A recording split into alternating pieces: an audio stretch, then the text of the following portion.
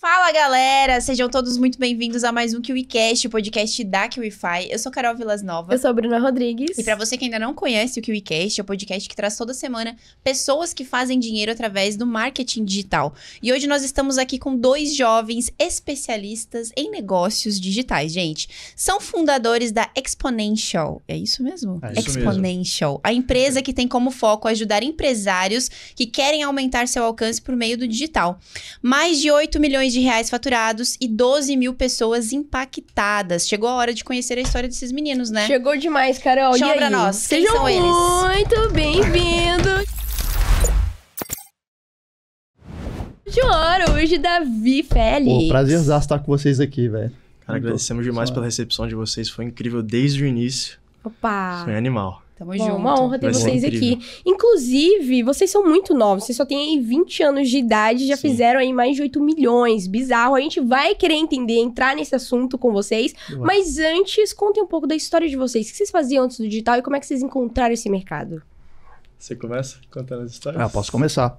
É, na verdade, a- eu não sei se chegou, chegou a citar, mas a gente é primo, né? Então, Oh. É, a minha história com o Davi, ela começa desde, a, desde, o desde- desde os almoços de família, encontro na casa de vó. Então, a gente sempre teve um relacionamento muito massa, assim, como família. Acho que é, sempre foi um dos principais pontos, assim, que a gente sempre valorizou muito o, o- a, a proximidade da família, essa, esse, esse carinho mesmo, e a gente quis trazer isso para dentro, dentro do mercado de trabalho. Mas tudo começou com aquela velha, aquela clássica, quero fazer dinheiro de alguma forma. E, e o Davi, na época, estava estudando dropshipping. A gente tinha 16 anos de idade. Então, era, era quatro anos atrás. E o Davi tava na expectativa de, pô, mano, descobri uma forma legal pra caramba aqui de fazer dinheiro. Tal, você, é, entregar, você não precisa ter o estoque. Eu falei, pô, vamos começar a trabalhar em cima disso. E, e de lá surgiu a, a ideia da gente começar a empreender e sentar ali e fazer um. Começar, de fato, ter um projeto junto. E, em- começamos pelo mercado de afiliado, que estava na moda na época, né? A galera tava, tava sempre falando, pô, virei afiliado. A gente vê aqueles resultados, sempre quando a gente vai escutar da história da galera, era sempre sobre o mercado de afiliado e como que aquilo tinha mudado a vida deles, e a gente começou por ali. Né? Já que a gente não tinha um especialista, a gente não tinha ah, nenhum conhecimento, pô, vamos, pe- vamos pegar o, curso de alguém que já produziu isso, já trabalhou em cima disso. E bora ver no que, E que nesse dá. meio tempo a gente ainda tava na escola, né? Eu tinha 16, o João também tinha 16. E nesse meio período de tempo a gente foi tendo algumas, vamos dizer assim, não resultados, mas a gente foi colocando a cara na internet desde para mostrar o nosso processo. Legal. E ali, desde o início, ali, criando o canal no YouTube, a gente aprendia alguma coisa, a gente apli- tentava aplicar, né? Porque no final das contas a gente não teve gente não teve nenhum resultado com afiliado. afiliado, cara. Não, mas já tava se colocando em movimento É. ali. Exato. Massa. Pra... Porque hoje a gente olha pra trás assim, né? E a gente vê, caraca, mano, imagina se a gente não tivesse feito aquelas coisas lá. Porque hoje às vezes a gente olha assim, caraca, mano, olha que vergonha, mas, pô. É o que. Olha, a gente, olha, vocês. olha onde a gente tava e olha onde a gente tá hoje. Não, eu lembro, tipo, vocês começaram então com 16 anos. É. Uhum. Muito jovens. Sim. Muito jovens. E aí vocês começaram como afiliados, foram fazendo ali suas primeiras. Chegaram a fazer vendas? Como é que foi A gente isso? fez, a gente fez algumas vendas ali, mas foi muito pouco. Que Não, deu, foi duas vendas. Algumas foi só o plural para duas. Foi- Algumas foi plu- plural para duas, porque, tipo assim, a gente tinha investido na época. É bem massa, porque eu e o Davi, a gente já tava. Com 16 anos, a gente já tava pensando, pô, mano, acho que o digital ele é o caminho mais rápido que a gente vai ter para conseguir construir algo de longo prazo daqui para frente. E que dê resultado de fato, e a gente comprava aquelas ideias, pô, liberdade financeira, tal, tudo mais. A gente queria aquilo. E, e quando você tá na escola ali, existe aquela pressão para fazer faculdade, e a gente já tava começando a ouvir que, pô, faculdade não é aquilo tudo, você não sai pronto do mercado, de- você não sai pronto para o mercado de trabalho pós-faculdade. Pô, e aí, o que, que a gente vai fazer então? Então vamos focar aqui dentro do digital. A gente tá vendo uma galera fazendo um dinheiro astronômico, a gente nunca tinha nem. Não sabia nem a dimensão do que eram seis dígitos, sete dígitos, que é o que a galera fala aí, 100 mil reais, um milhão de reais. Pô, como assim, né? Então, a, a gente iniciado nisso, só que nesses 16, eu e o Davi, a gente pegou uma fase onde a gente só tava estudando. A gente não implementava, porque na nossa cabeça a gente precisava ter dinheiro para fazer as coisas. E a gente não tinha. Na verdade, a gente tinha 300 reais guardados. Tava no final do ano, isso era em outubro. E a gente sempre passou o Réveillon em família. Nossa família sempre foi muito unida. E viemos para casa do meu avô, em Guarapari. E naquelas festas de Réveillon, sempre tem aquele, aquele movimento da galera saindo pra rua, é show do fulano que tá aqui na cidade que você quer ir lá. E a gente foi pra um lugar chamado Café de la Musique, lá em Guarapari, e ia ter o show do Alok. Que a gente queria ir no show da Alok. Isso era 2016, quatro anos atrás, isso era 2019. 2019? 2019. É, 2019. E a gente não tinha dinheiro para entrar no- lá no show da Alok e era o que, que tinha chamado mais atenção e despertou uma motivação muito grande, porque no estacionamento do Café de la Musique ele é um evento pra galera que tem grana. Então você vê a Ferrari na porta, é, Audi, R8. R8, Loucura. é, enfim, você via um tanto de carro que não, não- não convivia com aquilo, né? E eu tinha chegado pro Davi e falado assim, pô, mano, um dia a gente vai chegar nesse evento aqui com um carro top, vamos estacionar e vamos curtir o nosso Réveillon aqui. E... Mas aquela não tinha sido a, a oportunidade, a gente estava com 300 reais juntados e a gente ficou decidindo. Ou se a gente usava esses 300 reais e comprava dois ingressos pro show que ia ter, ou a gente segurava esse dinheiro e investia no mercado de afiliado no mês seguinte pra gente começar a nossa jornada e começar o ano com o pé direito. O que, que vocês decidiram Decisões fazer? sábias. Calma, calma. Agora entra, entra a parte que foi engraçado. Por que que a gente fala que a gente começou com menos 300 reais? Boa. Que é o seguinte, a gente tinha os 300 reais, e aí eu tinha uma conta de anúncios, e a gente ia vender um produto de emagrecimento lá, e Ah, os jovens aqui não sabiam que produto de emagrecimento é do nicho black. É um Sim. nicho onde é, tipo, muito concorrido, é um nicho onde tem muitas ofertas muito milagrosas, assim, que são mentirosas. E aí a gente teve a ideia, vamos colocar aqui esse dinheiro no boleto do Facebook. Colocamos o dinheiro no boleto, todo o dinheiro que a gente tinha na conta, De uma vez. de uma vez. Subimos a campanha, eu não não tava conseguindo. Eu dei reset na página, assim, né? Aí, pum, apareceu o, Bloco. o bloco na, na conta. E a gente perdeu os 300 reais. A gente não tinha mais dinheiro pra começar. Meu Deus. Primeiro perrengue da O jornada. primeiro perrengue da jornada. E ali já começa a parada do aprendizado. Legal. Não coloque todos os, o- os ovos na mesma cesta, né? Aham. Então a gente ali a gente já teve o primeiro aprendizado assim. E aí, como é que foi o, o andar? Ah, o andar foi que, porra, terminamos, terminamos com menos 300, menos 300 reais, tava sem grana.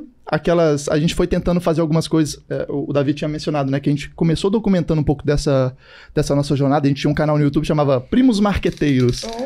Eu, eu ocultei todos os vídeos, porque depois eu... Vocês não vão achar, não você- achei. vocês não vão achar esse Vocês não canal. vão achar vocês esse canal, Vocês nem- podem tentar achar um. Tem um Instagram, só que é fechado, ninguém Oh. consegue Não, entrar. não o Instagram sei, tá fechado, tá o Instagram tá fechado, tá fechado. Eu, eu Se não tá, vai ter que fechar Se agora. não tá, vai ter que fechar agora. Se não tá, quando vocês assistirem o podcast, ele vai estar fechado. Ou não, também eu tenho muito orgulho da história que a gente construiu, só Não, que sim. é, ali a gente documentava, muita gente. é, e aí entra uma crença que eu, eu tinha na época que era, pô, eu preciso ter muito conhecimento para começar a me expor. E eu concordo que quando você está na posição de professor, é muito importante você ter um embasamento para poder trabalhar e, e- Então. e vender para outras pessoas uma transformação que é, é de se esperar que você tenha passado por aquilo. Só que eu também concordo que se você faz todo esse processo no objetivo de, olha o que eu tô fazendo, galera, esse aqui é a minha jornada. Exato. E tem muita gente agora fazendo isso. Isso vem me deixando muito feliz porque é, é uma primeira ex- exposição. Eu sei que tem muita, muita gente que entra dentro do mercado com o pensamento de vou começar o meu negócio sem aparecer. Isso é o que atrai a maior parte da galera.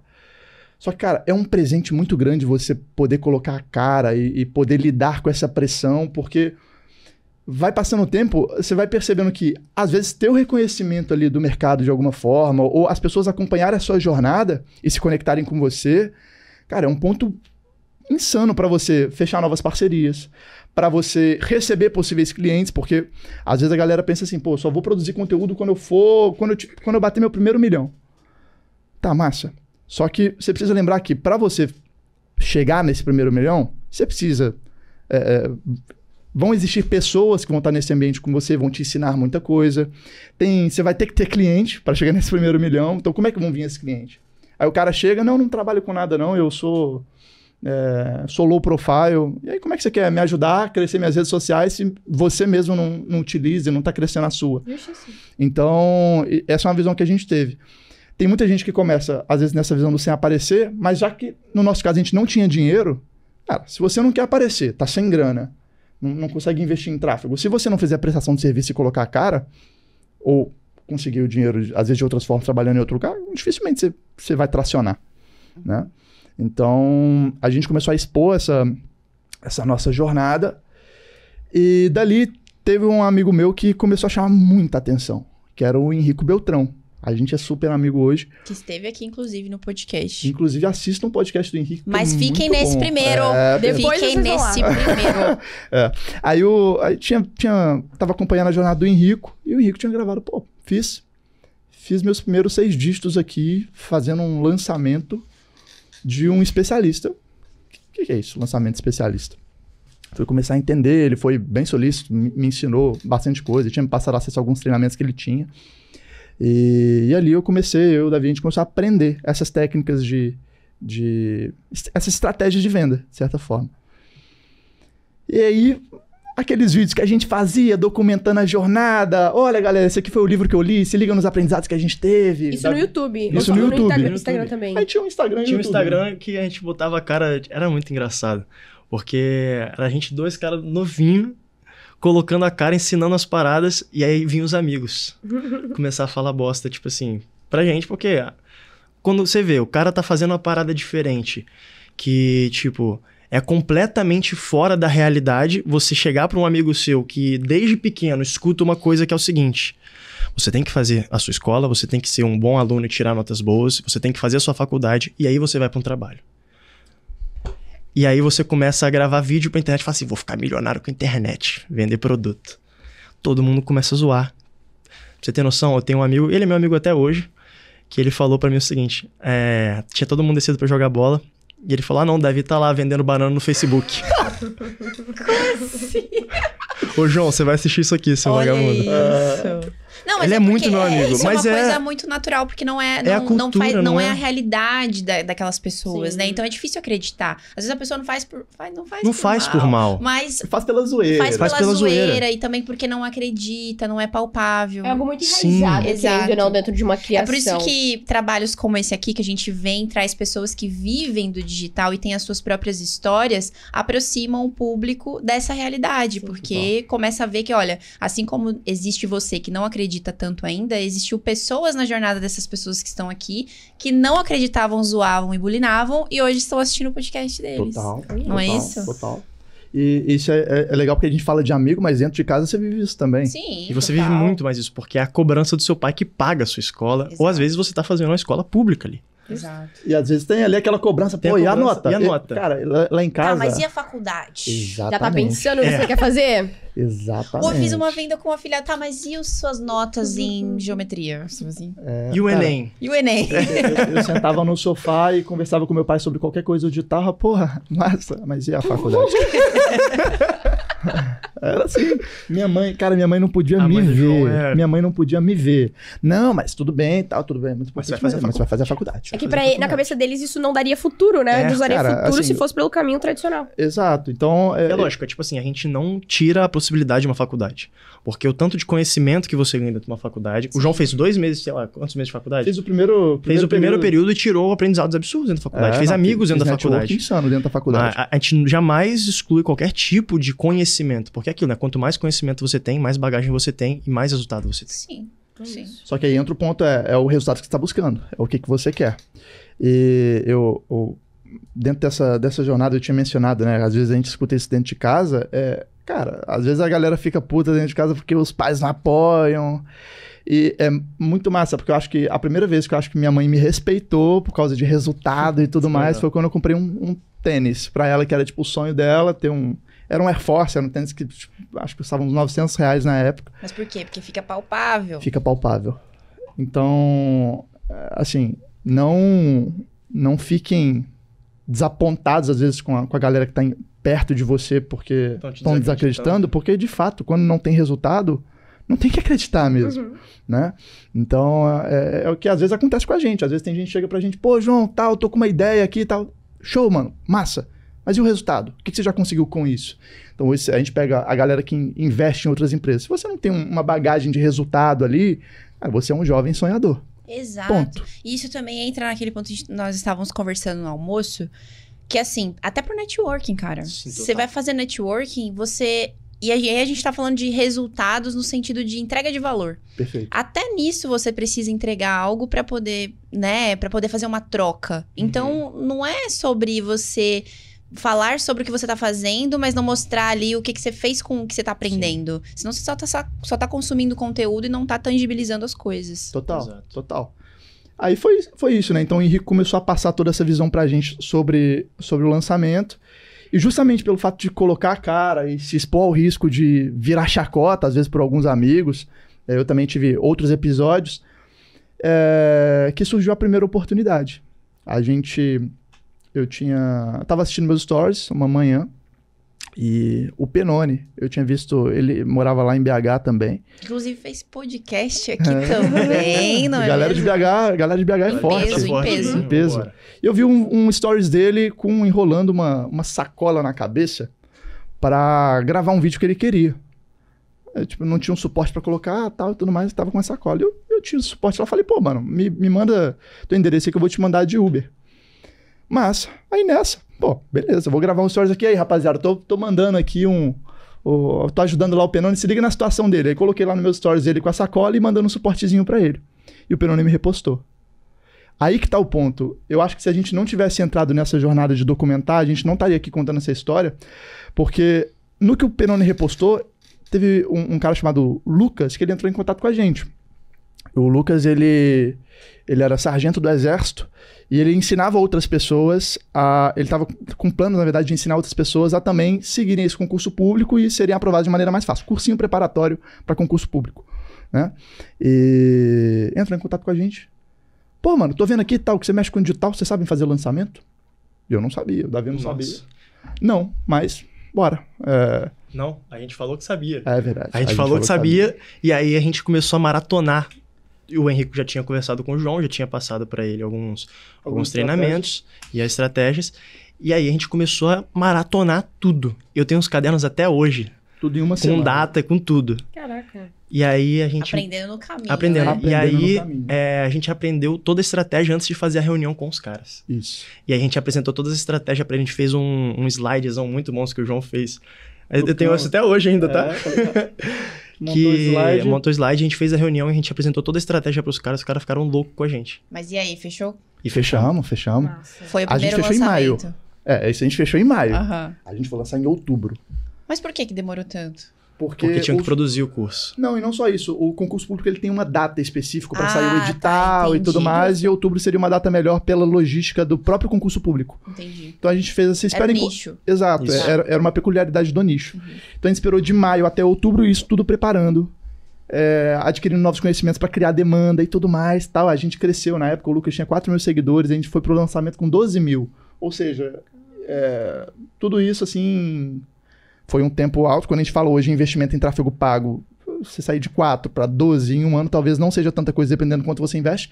Mas na época foi, foi massa porque a gente tinha investido. A gente tinha 3 mil reais para investir no lançamento inteiro. 3 mil reais para investir no lançamento inteiro de maio até outubro. Pensa nisso, fazer captação, fazer trazer gente pro perfil, trazer gente pro lançamento, fazer anúncio de oferta com Isso 3 tudo mil com reais. 3 mil reais. Né? É pouco pelo tempo.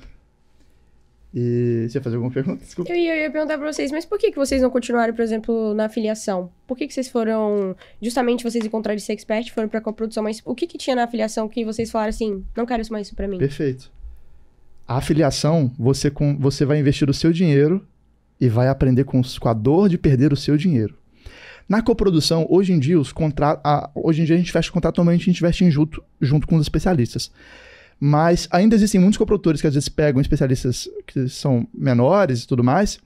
E chega pro cara e fala assim, campeão, ó, eu vou construir toda a estratégia pro seu negócio, você vai investir em anúncio e eu vou tocar essa operação toda, porque você não tem esse conhecimento. Então a gente teve um aprendizado sinistro Porque a gente atacou em todas as pontas e o cara só precisava de aparecer, pegar os stories e falar assim, ó, gente, é, gravar stories, basicamente isso. É, e produzir o treinamento. né? Exato. Então a gente conseguiu aprender com o dinheiro de outras pessoas. Fizemos o lançamento, a gente captou, acho que era 2.500 leads que Por foram. aí, nessa média. E a gente converteu 40, na verdade foi 35% da lista de lançamento. Isso é astronômico. Normalmente a galera pega 2, 3%, mas o modelo de lançamento que a gente tinha feito era algo mais rápido, sobre oferta.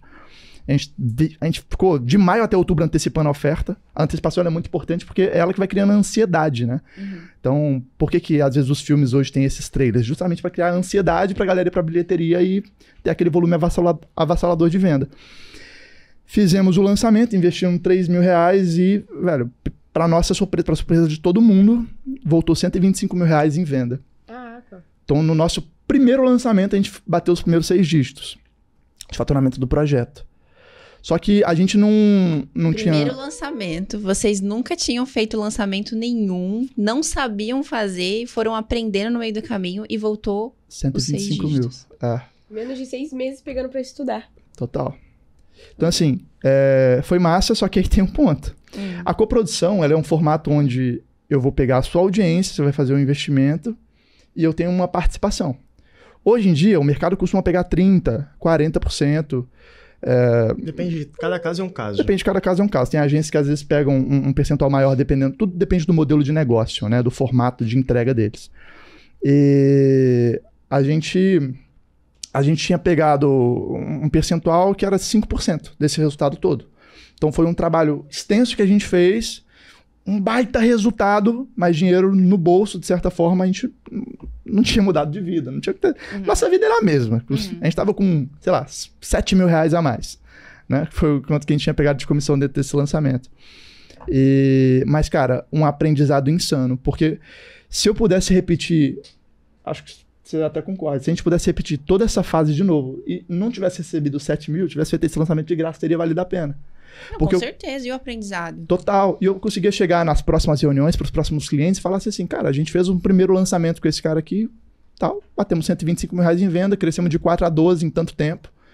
É, isso de primeira. Então, assim, passa uma sensação que a gente já era experiente pra caramba. E, e aí fomos pro segundo. Aí no segundo, o Davi montou um planejamento. Calma, calma, que eu vou Mas esse parte. segundo foi com o mesmo expert Foi, ainda. foi com o mesmo foi Vocês mesmo ficaram expert. só com o expert durante quanto tempo? Foi só esse tempo ali, porque em janeiro a gente ia prospectar do segundo expert, que era de, a de Pilates. No primeiro Ah, ano, é, então. É verdade. Tá. Foi, foi- é, Mas foi ele o rendeu ano. bons frutos pra vocês Pô, durante muito. Foi, muito foi. A gente fez lançamento dele. O último lançamento que a gente fez dele foi em 2022. E a gente É. pegou ele em 2021.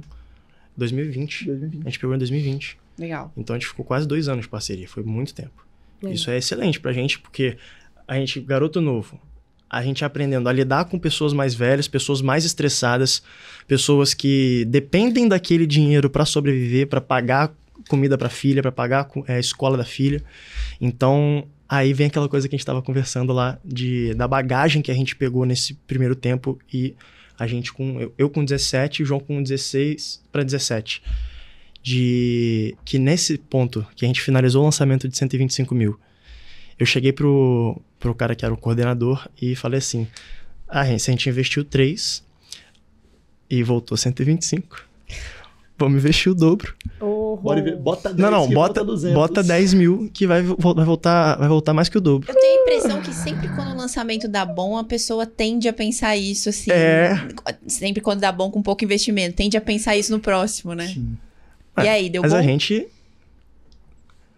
Bom deu! bom deu! Ruim não deu! Porque a gente fez o lançamento, pô, o lançamento foi muito bom. A gente fez uma captação de lead absurda. A gente, pra você ter noção, a gente encontrou um criativo que a gente repetiu o criativo durante três lançamentos. Ó. Poxa. É. O mesmo criativo, só trocando o CTA. E o lançamento foi muito bom também. Só que aí tem as histórias, as nuances desse, desse, desse lançamento. A gente abriu o carrinho, era dia 10 de janeiro. Nossa, eu lembro exatamente. Era dia 10 de janeiro, a gente abriu o carrinho. Aí não vendeu nada. Tipo assim, vendeu muito pouco as primeiras horas. Muito pouco, muito pouco, Não, muito mas pouco. esse não foi o segundo, esse foi o terceiro. Não, não. O terceiro foi o. Esse foi a Operação ESA. É, o- que foi o segundo. Não, não foi. Que foi o que rolou a. Ah, é, é foi verdade. sim, pô. Puta que... Calma, essa história é muito bizarra, é muito bizarra. Porque voltou eu e o João pra casa derrotado. Não, e detalhe, esse lançamento foi no Rio de Janeiro. E eu sou mineiro. O João nunca andou de BRT. Nunca andei de BRT, pra você ter noção, é um porque- Não, ônibus. peraí. BRT, Existe o. BRT do, de BH e existe o do Rio. o do Não, não, não, não. Diferente. É, é uma sardinha mesmo. Quatro horas da tarde, você não entra. É, é bizarro. É, só que tava num nível astronômico. Um calor que eu nunca tinha enfrentado. Tudo A totalmente gente foi diferente. pra Madureira, o lugar mais quente do Rio de Janeiro. Madurei. É. Lá dessa música. Eu lembrei dessa musicazinha. Depois, quando eu tava dentro- no, no meio do percurso, já, já Torrando no BRT. Norte. E aí a Só gente que a foi... Madureira, só pra complementar a história do BRT, a Madureira era tipo umas duas horas de onde eu tava. Então eu passei duas horas no, no mesmo negócio, no, no mesmo BRT lotado, infestado de gente. Caos. Tipo assim, a porta não fechava.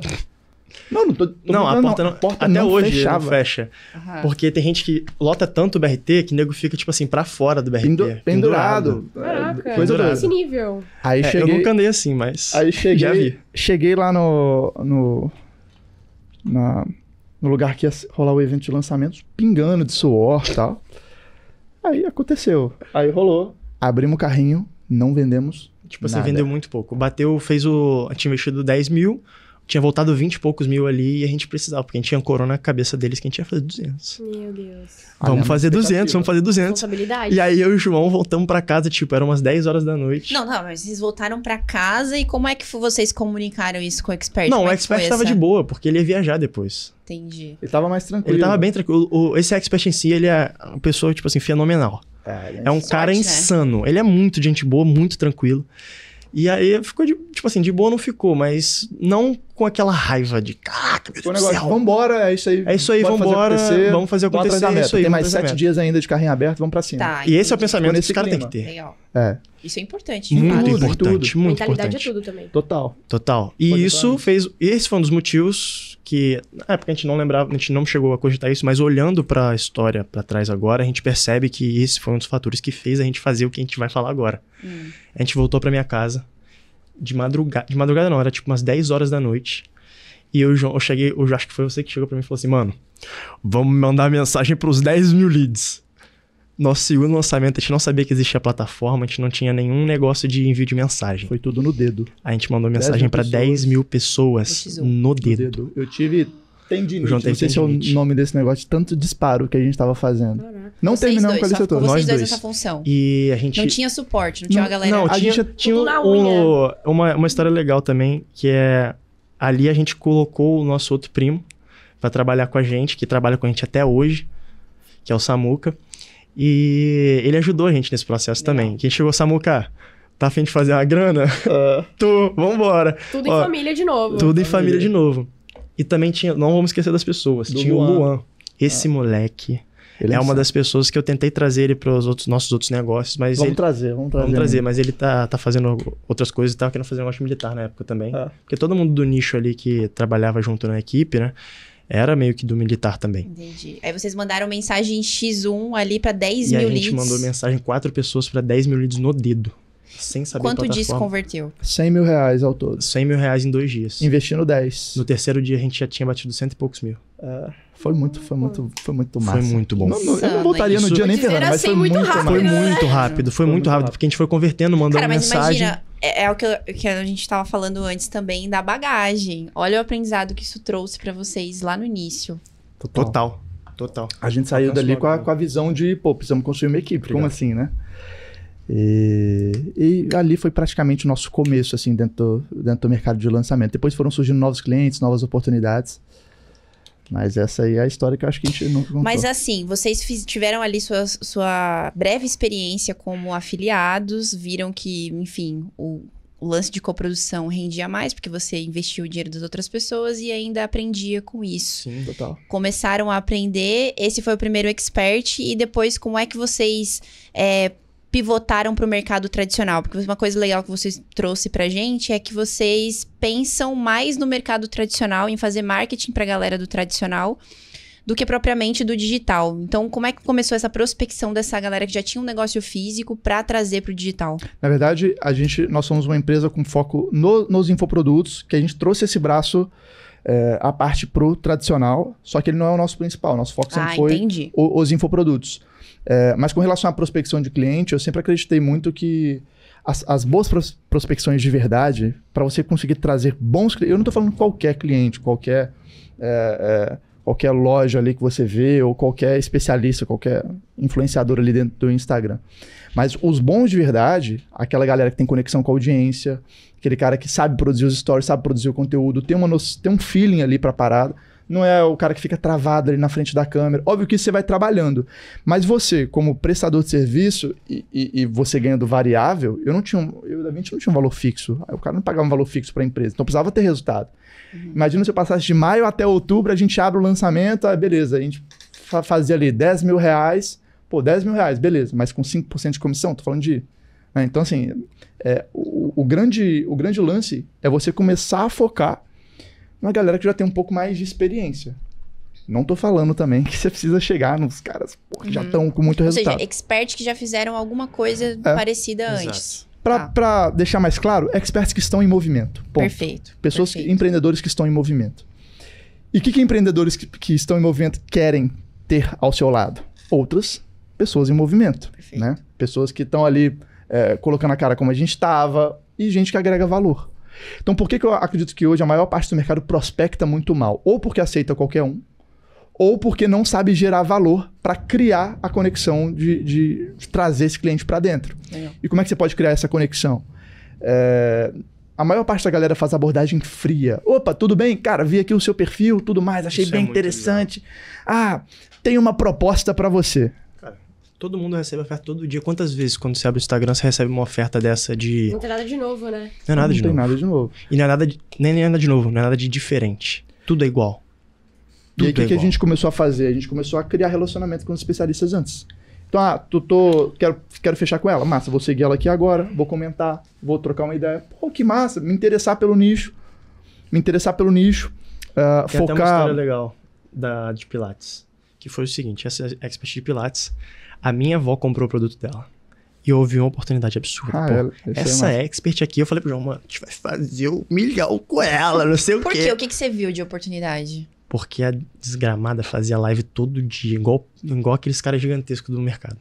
Ela era muito. Live todo dia, todo dia fazendo um alongamento, 7 horas da manhã, a live dela batia tipo. Ela é uma máquina. Duas Ela- mil ela até pessoas. hoje é insana. Hoje é insano. Insana. Ne- Nessa questão de vocês identificarem as oportunidades dentro do âmbito digital, vocês seguem uma metodologia própria de vocês pra isso? Hoje, para pegar novos clientes, hoje em dia é mais networking. Exato. Mas, a- e a galera do negócio tradicional, a gente roda anúncio, às vezes faz algumas abordagens diretas com lista que a gente já tem. Mas quando a gente estava mais lá atrás, era começar a seguir, criar relacionamento e depois criar essa, essas, eh, essas pontes assim para criar uma reunião ou qualquer momento que a gente pudesse eh, ter para apresentar os projetos. Que é o que eu fiz com essa expert. Boa. Continua. Que foi o seguinte, é, eu seguia ela e aí eu falei, ó, a- eu mandei alguma mensagem pra ela assim, que, que legal, eu comecei a mandar, comecei a curtir as coisas dela. E aí eu mandei uma mensagem, eu mandei um print da página de captura dela que tava sem pixel. Do Facebook. E aí eu falei, ó, é, eu queria fazer um debriefing com você das suas páginas aqui, de tudo mais, porque eu vejo que tem muitos Rapidinho, pontos de melhora. explicar, O debriefing ele é basicamente um, um olhar para trás assim de, De toda, todo o lançamento que você fez É. e ver quais foram os pontos que deram certo, quais que não deram, onde é que tinha erro operacional que normalmente era onde a gente apontava, né? Então, só para deixar claro o lance do debriefing. Antes de você continuar, eu quero chamar a atenção do coprodutor iniciante que está assistindo esse podcast ou a pessoa que simpatiza com essa área do marketing digital. O que ele vai falar aqui é uma dica que você pode colocar em prática amanhã mesmo. Total. que eu chamei ela, falei assim, opa, tudo bem? É, vamos fazer aqui, eu, eu mandei o print da página dela, e lógico que fiz o relacionamento antes, ela já me conhecia. E o mais importante disso tudo é o expert saber quem você é. Perfeito. E se você não tá posicionado, Exato. ela vai, Isso. ela vai acabar num, num Sim. perfil low profile. Ponto. Mas é, nesse, nesse caso, eu era, eu fiz pelo meu Instagram, o meu Instagram é completamente low profile, eu não posto nada, quem Privado, posta é todo o João. Não, hoje em dia mais não. Não, não é mais. ser. Tá, Mas é. tem poucos seguidores. Tem pouco seguidor. E eu mandei mensagem pra ela, eu comecei a conversar com ela pelo direct.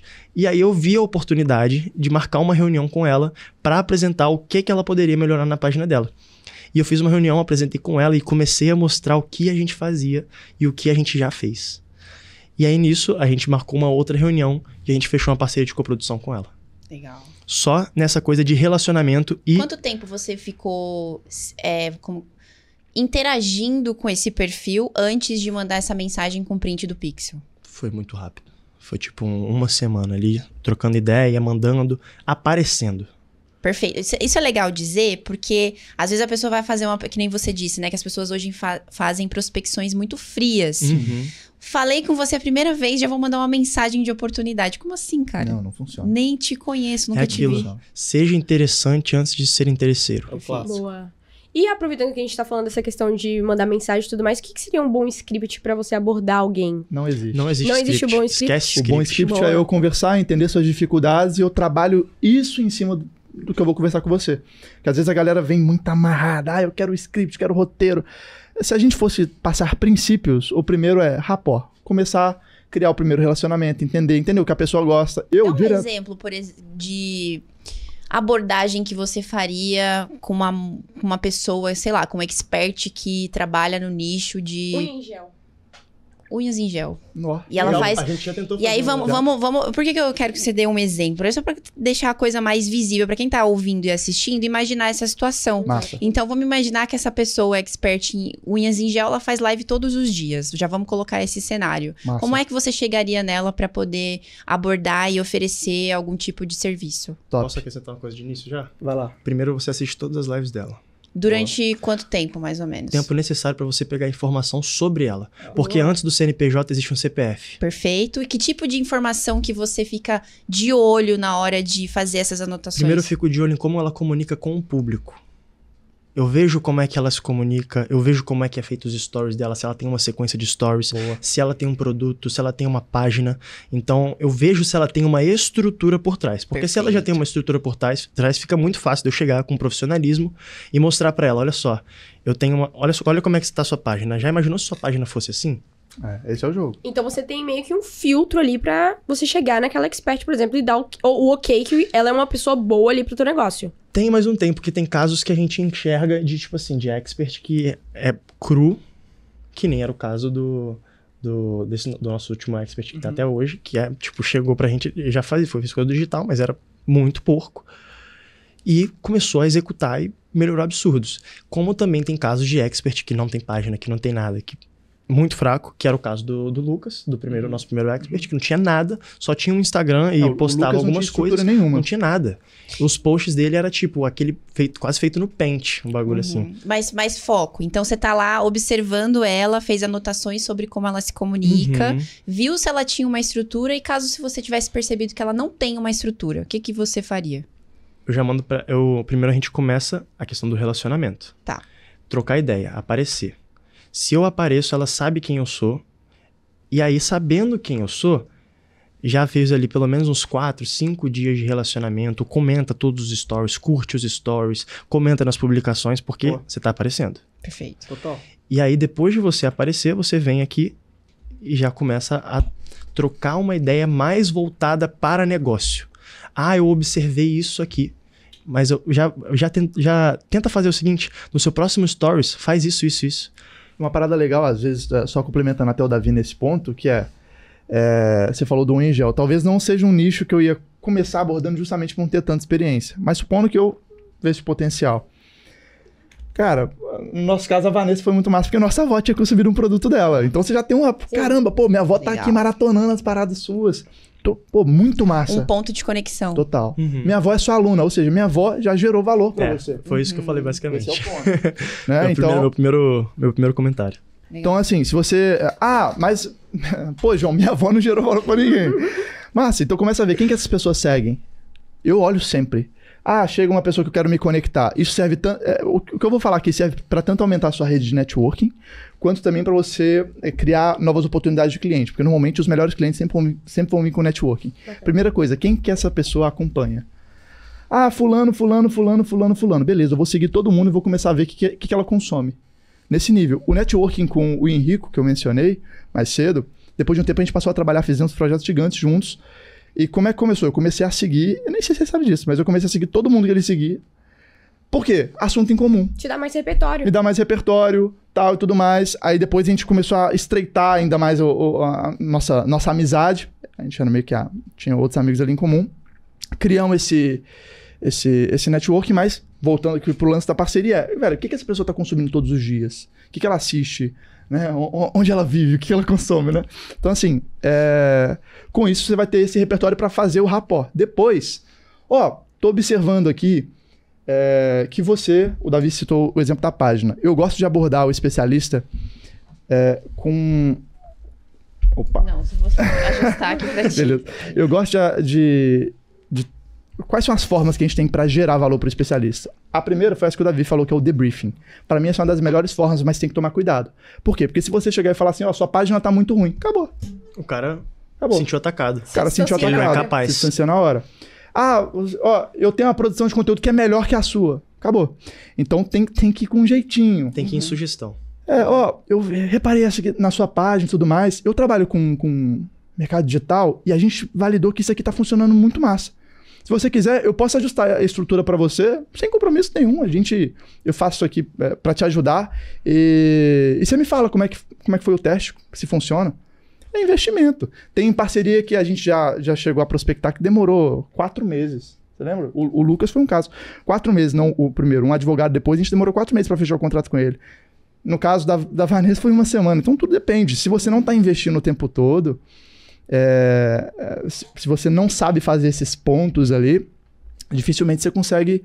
Você vai conseguir crescer um negócio de longo prazo. Primeiro, porque você vai estar atraindo clientes muito rasos para você o tempo todo. Vocês têm processo de fazer, por exemplo, follow-up desses, dessas, esses contatos que vocês fazem? Sim. Eles Só acon- que aí tem um ponto. Por exemplo, se às vezes o expert não está respondendo tanto, dependendo, dependendo a gente para. Deus. Hoje, que nem eu falei, a maior parte vem por networking. Então a gente vai para um. Isso é ótimo. Evento. Ah, evento de imobiliária. Vai. Evento de unha de de gel. Vai. Por quê? É porque é lá que está o especialista que você quer. Inclusive, esses eventos são muito melhores para ir do que eventos, de, marketing, digital. Legal. Porque marketing digital tá todo mundo olhando, ah, eu quero vender mais para tá especialista. Só que primeiro, o evento de marketing digital é é a verdade. Às vezes você pega uma galera ali que tá, tá começando, às vezes tá com o ego inflado e tudo mais. Às vezes você quer chegar perto do cara, mas tá todo mundo ali também nesse mesmo objetivo. Paparicando. Paparicando. Agora, se você chega num, num evento de corretor de Ninguém imóveis, espera que você vai abordar um cara lá pra vender, pra Justíssimo. você virar um sócio dele. ah, você chega lá e fala Você assim. chega ó, lá e fala assim, ô, você já vende seus produtos na internet? Como é que você se posiciona hoje na internet? Total. Com Acabou, perguntas. E aí ali o cara vai respondendo e já vai te dando possibilidades Total. de uma abertura, né? E eu, eu até mudaria um pouco o ângulo. Cara, a gente. Você tem, você tem escritório de quê? Ah, eu tenho escritório de. Eu tenho uma imobiliária focada em imóveis de alto luxo. Pô, que massa. A gente tá com. um- hoje a gente trabalha com um cara, a gente tá tendo um resultado super legal. Você fala do resultado, fala do que, que você tá construindo. É, eu queria entender um pouco mais do seu modelo, como é, que- como é que funciona. E deixa o cara falar. Eu acho que um dos maiores segredos de toda e qualquer venda é você ouvir. Ah, o especialista tá aqui vindo. Por exemplo, um erro que a gente cometeu no primeiro. Na, no- na primeira parceria foi falar demais na primeira reunião. Que foi o que eu nem cheguei a terminar de contar como é que funciona essa história. É, Mas assim, a gente pegou. A gente foi pra cima pra maratonar o lançamento. Eu queria ficar explicando o que era o lançamento pro cara. Aham. Ele comprou a ideia, massa, mas no fundo é o seguinte: velho, qual que tá sendo a sua dificuldade hoje? Me conta. Aí vai contando. Aí você vai criando perguntas dentro da dificuldade. E com isso, você vai percebendo: opa, a dificuldade dele é. Cara, ele não tem tempo. Opa, perfeito. Ele não tem tempo, eu tenho. Pô, vamos, vamos, fazer um match aqui. Eu vou, vou doar. Vou doar, não, né? Eu vou vender o meu tempo para você, ou em formato de coprodução, ou em formato de prestação de serviço fixo. E, e com isso a gente vai crescendo. Ah, cara, eu não tô com tanta grana. Pô, mano, perfeito, entendo completamente. Hoje a gente trabalha com modelo de coprodução. Você não, é, tudo que a gente vai fazer é em prol do seu negócio. Ah, eu não tô com tanta grana assim para investir em tráfego. É, cara, massa, vamos, vamos ver. Você já tem alguma base construída? Tenho. Pô, vamos trabalhar ela primeiro. Então, assim, quando você escuta e entende todas as principais objeções, ou às vezes. É, é, é porque a galera às vezes atrela objeção a algo depois que eu fiz uma oferta, mas na verdade, às vezes a objeção é um, É um problema interno. é um às problema vezes. interno do cara que você nem fez a oferta ainda, mas você já identifica que você vai ter que lidar com aquilo alguma hora. Então, ouvindo e, e construindo essas crenças é, faz, faz total é, diferença quando você quer prospectar parcerias de alto valor. Perfeito. E uma vez que vocês fizeram prospecções, vocês têm aí alguns experts, né? Hoje em dia vocês trabalham com quantos? Hoje, a gente está focado praticamente em um voltado para infoproduto. Nosso Tá. foco é 100% nele. É, quando você fecha com um novo expert, como é que você define quais vão ser as melhores estratégias para lançar um infoproduto ou para melhorar e exponenciar o negócio desse expert? O que, que vocês fazem primeiro? Vamos lá. É, primeiramente, a gente entende o que que é o produto do nosso expert. Nosso copywriter, ele entra uma call de três horas, a call até encerrar, tipo assim, acaba a energia do expert do, do copy pra gente extrair de tudo o que ele tem de conhecimento sobre o mercado dele. É lógico que às vezes não dá pra tirar tudo, porque ele detém o conhecimento. E sobre o que ele já fez e sobre o produto dele. Esse é o primeiro passo. E aí depois. Repete sua pergunta, por favor. O que, quais são as. Depois que você faz essa call, como é que você desenha quais vão ser as melhores estratégias para poder fazer um lançamento? Se vai fazer um lançamento? que que- qual, qual que é o primeiro passo depois da call?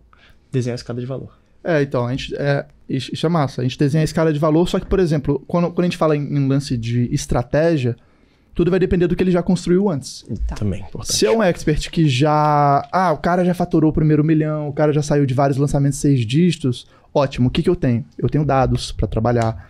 Eu tenho uma audiência que já foi construída. Eu tenho. Eu tenho toda uma estrutura que já foi pré-montada, seja bem feita ou não, ela tá ali.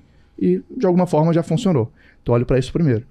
É, e depois que a gente cria toda essa linha de comunicação, a gente começa a ver, cara, o nosso O que a gente produto pode vender aqui dentro? é, qual, que é o, qual que é o nosso objetivo?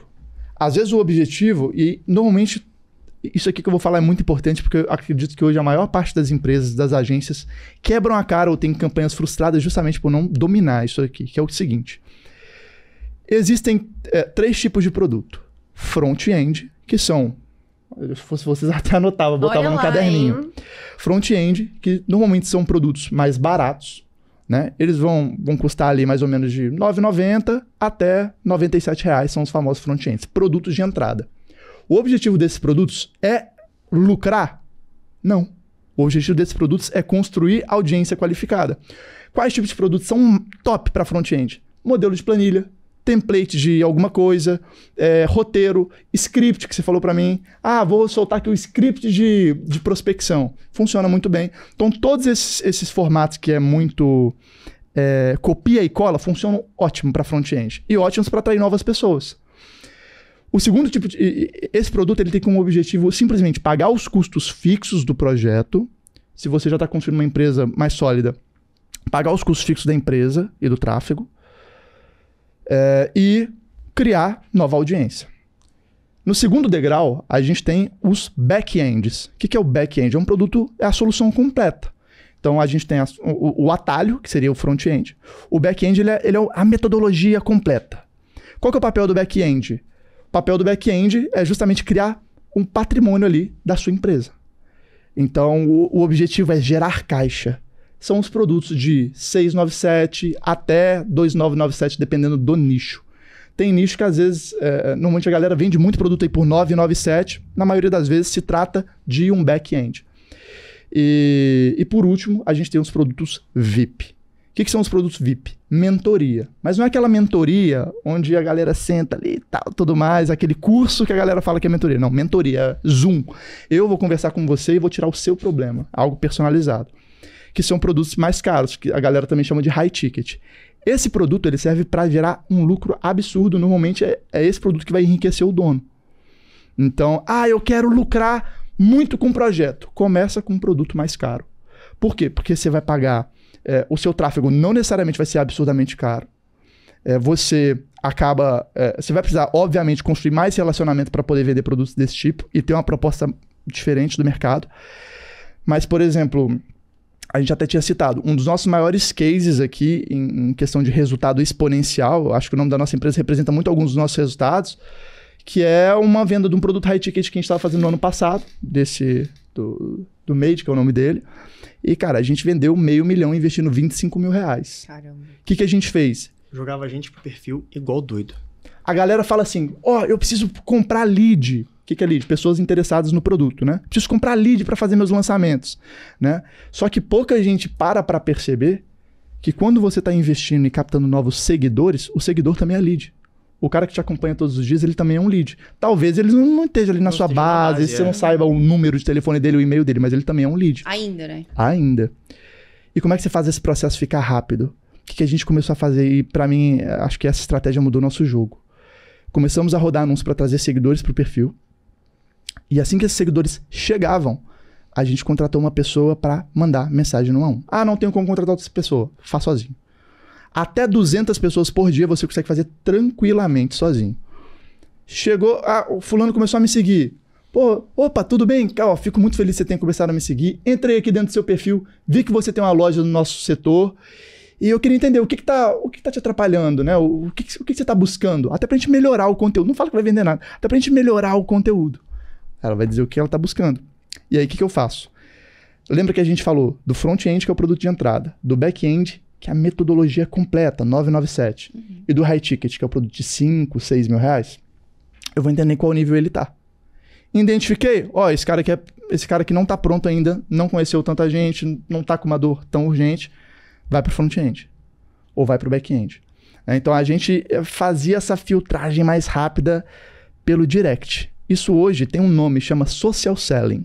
Tá meio famosinho chique, agora, mas... É. Inclusive, nós recebemos também esse KiwiCast, nós recebemos todas as pessoas experts em cada área. É impressionante, oh. né? Total. Mas a gente recebeu um expert em social seller, so, social selling. E isso. ele explicou basicamente isso. Boa, então terminando é. o podcast, vocês Terminando, terminando. Boa. E aí, é... Só, só para recapitular, então, que a gente tinha falado sobre a estratégia, só para não fugir. É, a gente tem o front-end, que é o produto de entrada, o back-end, que é o produto da metodologia completa, e o VIP, que é uma solução mais personalizada. Quer lucrar? Vai para o high ticket. A sua empresa está começando agora, você não tem um tostão para nada. Nem pra, ah, se um especialista agora quiser que eu invista no projeto, eu não tenho caixa. Caixa, isso é fundamental. O que mudou, o que mudou também nosso jogo é, do ano passado para cá foi construção de caixa. Por quê? Porque cliente vai e volta. Você pode ter o melhor contrato do mundo. Se o cara quiser ir embora, ele vai embora. E aí, beleza. Se tudo que você construiu depende de um cliente só, já era. Ah, João, mas ali você falou que você só tem um cliente. Então já era? Não, porque aí você está construindo uma sociedade. Aí é diferente.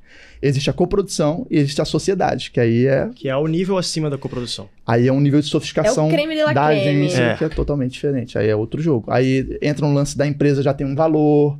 Enfim, é algo um pouco, algo um pouco não, algo bem mais estruturado. Já se trata de um negócio completo e não uma fonte de renda. E, e aí, massa. Agora, se meu objetivo é crescer a audiência e tudo mais, cara, vamos ali começar pelo front-end, vamos trazer novas pessoas enquanto nossa estrutura vai se pagando. Então, esse aí é, é basicamente o foco. Quando a gente entra para pegar qualquer projeto, eu entendo em qual estágio ele está, em qual, qual que é o nível de, de, não direi, de maturidade que esse especialista tá. Legal. Então, acho que é, é isso. E o que, que, ele precisa agora, né? Então, seria essa questão, por exemplo, de você fazer essa venda no X1, você fazer esses tipos de produtos que você encontrou como estratégias, por exemplo, para você pegar dentro do mercado e não só atrair esses clientes, mas também converter eles e reter eles? Sim, Ou teria exato. as outras também? Que você não falou aqui, que podem ser um ouro também pra galera. Do... Desculpa, que, repete a pergunta. Por exemplo, estratégias que você encontrou dentro do mercado que funcionam não só para atrair os clientes, por exemplo, pacote de conteúdo. Você vai criando conteúdos ali para atrair o pessoal. Mas certo. estratégias que você encontrou não só para fazer isso, mas para converter e reter essas pessoas. Massa. Por exemplo, o que a gente tinha, tinha, tinha citado do social selling. Qual que é a parte massa do social selling? É que. O cliente se sente muito importante. O... Quando você. Uhum. Pensa comigo. Você começou a seguir o Cristiano Ronaldo. Do nada o Cristiano Ronaldo te manda mensagem. É que eu não sou fã de futebol, não, mas... Não, mas pensa nisso. muito felizona. Pensa nisso. Porque é basicamente isso que a gente construiu com o posicionamento do, do Guilherme que foi algo muito premium, algo tipo que não existia no mercado. A gente levou a régua no nível de mercado que hoje a gente tem as duas os dois maiores experts. É como se, por exemplo, você manda uma mensagem no chat, por exemplo, da QIFI e em menos de cinco Sim. minutos alguém responde. responde. Exatamente. E isso não é, é padrão no, no, mercado. Não é padrão. Não é padrão. Isso é total você tem você tem dúvidas, pode ser que em menos ou até em três minutos alguém já te responde. É e como a, a galera já não estava acostumada com isso, faz a pessoa se sentir sentir, porra, isso aqui tem qualidade. Esse cara aqui tá, tá, tá olhando para mim de fato. Total. Você compraria um produto de 20 mil reais de, de, algo que você nunca ouviu falar, de uma marca que você nunca ouviu falar? Exato. Não, então você precisa construir relacionamento. Exatamente. Só que qual que é o problema? Existe um gap muito grande. Eu acho que aí a maior parte do mercado erra. Que é, ah, vou construir uma audiência para depois fazer um evento de venda. Ou vou aumentar aqui a minha base de pessoas para depois ofertar um produto. Cara, esse meio tempo que o cara começou a te seguir e ele saiu do seu perfil ou dormiu, tá no dia seguinte, o cara já esqueceu de você. Às vezes ele vai lembrar de outras pessoas que ele já acompanha há muito mais tempo e tem muito mais entrosamento. Agora, o que, que você faz? Você acelera o processo de. Você tinha falado, né? Estratégia para uhum. aumentar a retenção e tudo mais. Né? Então você acelera esse processo de, de aproximação com o cliente. E existe e tem um negócio que eu vi esses dias que eu achei fantástico, que é, se você quer ter uma rede social mais engajada, quer que os seguidores engajem mais com você, você precisa engajar com eles também. Isso é um ponto muito importante da nossa operação. A gente entrava nos stories da galera, pô, que massa, mano, tá vendendo aí, cara, o que, que a gente A pode te gente- ajudar? Isso outro- com o Instagram do Expert. Com o Com o Instagram Instagram do do Expert. Expert. Bacana. E a questão de repostar. O cara que fazia uma venda, e às vezes o cara nem era cliente. E ele, a Ah, gente- ele se sente muito importante, ele né? se sente importante. Ah, eu fiz uma venda assim, só com conteúdo gratuito. A gente repostava o cara. E aí futuramente o cara virava cliente ou não, porque a, a mentoria virou um, um objeto de desejo que a gente conseguiu criar com o posicionamento. Esse, esse é um esse é um ponto massa, porque se você consegue construir. Tem gente que constrói todo o posicionamento voltado para o produto. Qual que é o problema? O produto morre. Uma hora Agora, o produto se você acaba. cria uma. Não, não só uma comunidade em volta do seu produto, mas sim quando você cria uma marca forte, você consegue vender qualquer coisa. Que as pessoas são apaixonadas pela marca. Por falar em marca e comunidade, Hum. vocês então têm estratégias para criar, para construção de comunidade para experts. Sim. Qual que é quais são os, os, os passos, vai, para criar uma comunidade para um expert, por exemplo? Primeiro, uma presença forte. Porque ninguém constrói um- uma comunidade sem um líder. Sim. Você não pode escolher qualquer um expert, ah, um maluco pau mole. Não pode. Exato, eu vou falar, eu sou assim mesmo. Você não pode pegar, você tem que pegar um cara dominante. Tá certo, eu concordo. É um cara dominante, porque você não cria um- uma comunidade, um senso de onde as pessoas não te respeitam. As pessoas elas querem poder confiar nos líderes, Querem poder né? confiar. O Total. cara tem que ser firme. Uhum. Não dá pra ficar em cima do muro. Exato, não dá pra ficar em cima do muro. É, é, o- é a soma. O cara, ele é ali o que ele é. E a outra coisa, fala muito a verdade. Putz, isso aí Isso é muita coisa. Porque se a partir do momento em que o seu, os seus seguidores eles desacreditam de você, eles não compram mais nada. A verdade conecta. A verdade Total. conecta. Então esses são os dois pontos principais que a gente enxerga para um expert que tem potencial de criar uma comunidade. Legal. Ah, e que, e que até pra ficar até mais didático, quais movimentos que a gente pode criar pra fazer isso? Velho, às vezes desafio. Ah, é, vamos fazer o desafio aqui de tantas vendas. Entra aqui no grupo do Telegram, bora fazer esse desafio junto, vamos conversando. Abre call no Zoom. Tudo que você conseguir fazer, o seu cliente estar conversando diretamente com você é muito positivo. Muito Hoje, positivo. por que, que eu falei, né, do resultado que a gente investiu 25 mil para voltar 500 mil em um mês? Como é que a gente faz isso? Se você não estiver perto do cliente, não funciona. Então, como é que é todo o nosso processo de venda? Ah, vou fazer isso com VSL. Não vai funcionar, amigão. Não vai funcionar. Dificilmente funciona. Para você vender um produto que na época a gente vendeu por foi 5 mil, 5,500. a gente vendeu por 5,500 Tem que fazer cal. Tem que fazer. Tem que estar com o time comercial bem alinhado. Então, o que, que, a, gente, o que, que a gente começou a montar dentro da nossa operação? E aqui vai uma parte um pouco. Eu não vou dizer que isso aqui é tão simples. Você que está é começando. robusto, é. Isso é bem mais não, complicado. não preocupa com isso aqui agora, mas é um ponto que fez total diferença pra gente, acho que faz sentido falar, que é, a gente começou a dividir a nossa empresa em quatro setores. Tem muita gente que acha que funil de vendas é a mesma coisa que funil de marketing. E não Diferente. Qual é a diferença? Boa. é. A diferença do funil de vendas pro funil de marketing é, o funil de marketing, ele não tem o papel de vender, ele tem o papel de criar demanda. Exato. Ele tem o papel de tirar um cliente que antes não conhecia o teu produto, transformar um cliente em alguém que de fato confia em você. O marketing, ele tem esse potencial de aproximar. Vendas é isso aqui, ó. Ó, Tá aqui o Pix. É a parte comercial. Né? Óbvio que tem todo um, um trabalho em cima disso. Mas o que, que a gente começou a fazer? A gente dividiu setor de vendas do setor de marketing. Né? E a gente também tinha as outras duas, que é a parte operacional e liderança. Então, liderança ficava eu e Davi. Parte operacional que a gente tinha era justamente para criar a estrutura. né? Tem que criar uma página, é um design. Parte operacional. Parte de marketing. O foco de vocês é trazer o lead qualificado para o vendedor. Porque aí, onde, onde é que entra um, um- Acho que não é nem no digital isso aqui, cara. Acho que é um erro que a- até o mercado tradicional comete. Que é, nossa meta é vender um milhão de reais. Nossa, o cara que é do time de marketing, o objetivo dele não é vender, o objetivo dele é criar demanda. Então, como é que eu posso fazer com que esse cara se intere na meta? Porque se ele não é vendedor, o que, que ele tem a ver com a meta? venda, mas ele tem que ajudar na venda também, porque todas as pontas ajudam na hora da venda. Aí o que que a gente começou a criar de meta? O time de marketing. O seu objetivo, a gente desenhou ali o que a gente chama de cliente dos sonhos. Ah, qual que é a diferença da persona para o cliente dos sonhos? A persona é um cliente que tem potencial para comprar. O cliente dos sonhos é aquele cara que você quer ter perto, é aquele aluno que ele é engajado, ele tem perfil comportamental, ele é o cara, ele é diferente, não é o cara que é, é o cara que assiste a metodologia completa ou não assiste, mas assiste o suficiente para gerar o resultado que precisa. Esse é o cliente dos sonhos. Não enche o saco, não dá dor de cabeça. Esse é o cara.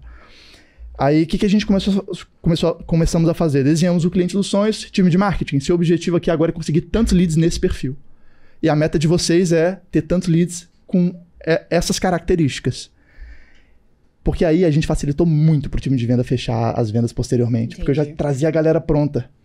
E todo mundo se inteirava, tava todo mundo engajado com a operação, com o funil, porque cada um tinha uma função e cada um era responsável por uma parte. Se o, se o de venda não fizesse a parte dele, o de marketing saía prejudicado. Só que se o de, se o de marketing fizesse a parte dele e o de venda não, tipo, cada um tinha sua respectiva função ali dentro. Não era algo onde todo mundo estava focado só na- no resultado final. Tem gente que. O que, que o designer tem a ver com o resultado final? Entendeu? Perfeito. Então, não, não, não menosprezando a, profi- a- a profissão, né? Mas é, na prática. né? Então, é, aí, aí que Às vezes começou a entrar até o o lance. foco, né? Total. Ah, o designer, teu objetivo é vender um milhão. E aí, o que tem a ver com isso? Fazer aqui identidade visual e se der certo, ótimo. né? Então a gente começou a engajar melhor a galera nisso. E a gente criou uma estrutura para fechar a venda, que é o seguinte: se o cliente está pronto, ele vai fechar a venda na cal. E são, é, é um estilo um pouco mais agressivo de venda. Tem gente que concorda e tem gente que não concorda. Mas é o seguinte: se eu sei que esse cara tem poder aquisitivo para estar ali dentro e eu sei que ele tem um problema e ele veio para o nosso encontro, Ele vai ali, fechar na cal. ele precisa fechar Não existe cal. a questão de ele não fechar na cal. Ah, ô, trouxe o lead certo, o, o comercial. Tem que fechar a venda. Tem que fechar a venda. E aí a gente conseguiu uma taxa que eu também eu vi poucas pessoas falando que tem essa taxa, que é 80% de conversão dentro da sessão estratégica. Caraca. Insano. Então, o que, que a gente fazia? Campeão, eu vou te fazer uma oferta que é única e exclusivamente para dentro dessa cal. Se você sair, a gente montava uma oferta que era tipo o produto principal e vinha mais uns 14 bônus que faziam muito sentido. Se ele saísse, ele perdia ou todos os bônus ou metade dos bônus. E de fato, ele Então, não ele poderia fechava comprar na depois. Se ele não fechasse na cal, ele teria que. Dificilmente ele ia, ele ia conseguir achar a mesma oferta depois. Quantas pessoas você tem hoje no time de vendas? Na época que a gente atingiu esse resultado, a gente estava no maior tamanho, que eram 16 pessoas. Caramba. Mas hoje são 12 pessoas indiretas e 6 pessoas estão literalmente todos os dias com a gente. Então, é, é isso. Você vai crescendo um pouco mais a operação, vai ter necessidade de, de trazer mais pessoas para dentro, né? Mas ah, o que, que a gente fazia dentro dessa cal? A gente criava... Acho que você não entendeu a pergunta, João. No time comercial. Ah, no time É, comercial? Cara, três time pessoas. era três pessoas. Era ridículo. Caraca. Três pessoas. Essa galera fazia call. Essa galera Essa fazia galera fazia cal. call. Um deles era eu. Outro era o Cauã. E o Rafa também, que era irmão do Davi. A gente trouxe ele pra dentro. E outro era o próprio especialista, que eu nunca vi ninguém converter tão bem quanto ele também. Explica Isso. pra gente como é que essa galera chegava. Como é que, como é que vocês, antes de fechar uma call. Perfeito. Lembra quando a gente falou da social seller? Aham. Social seller conversou, às vezes o cara chegou no, seu perfil, no meu, nosso perfil hoje. Conversou, trocou ideia, entendeu o problema, ele mandava o cara direto pra cal no mesmo dia. E- e- ah, Por tá... meio de onde? Por meio do Instagram, direct. Não, tá, mas você mandava ele pra call, você mandava um link, como é Mandava que você o levava A essa... gente mandava pro WhatsApp, no WhatsApp fazia pré-onboarding e algumas ali. vezes mandava o Zoom direto também. E algumas no, vezes no mandava direct, o Zoom. No o direct. link. Tá disponível aí? Tô, toma. Vem pra cal. Ah, É isso. massa. Por quê? Porque aí o cara. Eu já fiz toda a construção com o cara no direct, já levantei o problema. Ele falou o problema, pera aí. Cara, eu, eu tenho uma solução que. Eu tô com um, um estrategista aqui que ele pode te ajudar agora. Você tem interesse em, em ouvir? Pô, tem, beleza. Entra na cal, a gente explica, a gente entende de fato, escuta o cara, né? E depois faz, faz a oferta. Mas vinha, vinha por esse caminho. E aí a gente entrou pra dentro da cal com a mentalidade que. O que, que eu acho que fez a gente ter uma, uma conversão surpreendente? Na minha visão é o seguinte: se o cliente está entrando em contato com você e ele te procurou, Ele quer comprar. é, é ele quem tem que se esforçar para resolver o problema. Como assim? Só para ficar claro. É, Quem, tá, quem precisa da solução é o cliente, não sou eu. Se eu sou especialista. Ah, supondo, no nosso caso, né? A gente, é, o meu especialista já vendeu mais de 15 milhões de reais com iPhone. A gente ensinava a galera a escalar a loja. Cara, a gente já sabe o segredo para chegar no resultado alto. Quem tá precisando de escalar é você. Então, dentro dessa cala, a gente sempre colocava o cliente num- numa posição onde. Cara, é, se- esse resultado que você tá é culpa sua, a gente consegue te ajudar. Você quer, você, você quer seguir? É um pouco mais agressivo, é um, é um pouco mais a, a galera que às vezes é mais gosta de pensar, a gente não dava muito tempo pra esses caras, não. E acho que esse era um dos principais pontos que fazia a gente acelerar bastante. Ah, João, e o cara que precisava conversar com mulher, precisava conversar com sócio, ou a gente trazia os dois pra cal. Tem sócio? Tem. Vem com ele pra cal, a gente vai te explicar. Ou, no pior dos casos, a gente saía da cal com um sinal. O que, que é isso? Campeão, é seguinte, apresentei a oferta pra você, faz sentido? Pô, faz demais, mas agora não é meu momento. Vamos fazer o seguinte, então. É, se fizer sentido pra você, se você quiser manter essa oferta que eu te falei aqui agora, você vai fazer um sinal de 100 reais, que por porque a gente tá vendendo produto de 6 mil, 100 reais não pagava nem o custo da reunião. É, na verdade, pagava, mas enfim, não, era- não representava nada relacionado ao, ao que a gente fazia. É, então ele fazia o sinal e esse sinal era um comprometimento dele com a oferta. Aí no final ele só completava, né? Então isso aí foi uma, uma coisa que fez a gente acelerar muito, a gente vendeu muito com esse lance do sinal. Ah, João, você vende para o cliente total na, na emoção. Você pega o cara. é, cara, é o seguinte: se ele não comprar a minha solução, ele vai comprar de outra pessoa. Sim. E as pessoas compram por emoção. O que, que eu fiz? Eu levantei o problema, deixei. é, ele entendeu, porque se ele. Ah, não, não quer. Fechou, tamo Você junto. ter noção dos casos? Teve dois alunos que pegaram dinheiro com agiota. E fizeram a grana, tipo assim, em um mês pagou a agiota e, tipo, hoje faturou mais de 10 milhões. Vale ressaltar? A gente não incentivou. A gente não Não falou pra incentivou. fazer Não nem incentivou. nada. Aconteceu. Mas aconteceu. Na Cal, o cara. e, na- não façam isso. Exato, é loucura. É casos extremos. Mas é, é para você ter noção do quanto que a gente conseguia ativar é, com essa Urgência. é, a urgência nessa cal. Em que momento, por exemplo, dentro da operação de vocês, vocês viram a necessidade de colocar, de olhar para o time comercial? Porque tem pessoas que estão aí anos no digital e ainda não começaram a pensar nisso. E vocês já têm isso dentro de- da operação de vocês. Em que momento, nesses três anos que vocês começaram a faturar pra caramba, que vocês já começaram a ver essa, necessidade? Massa, aí eu preciso falar de uma pessoa que tá, tá ajudando, ajuda a gente muito até hoje com isso. É, O que acontece?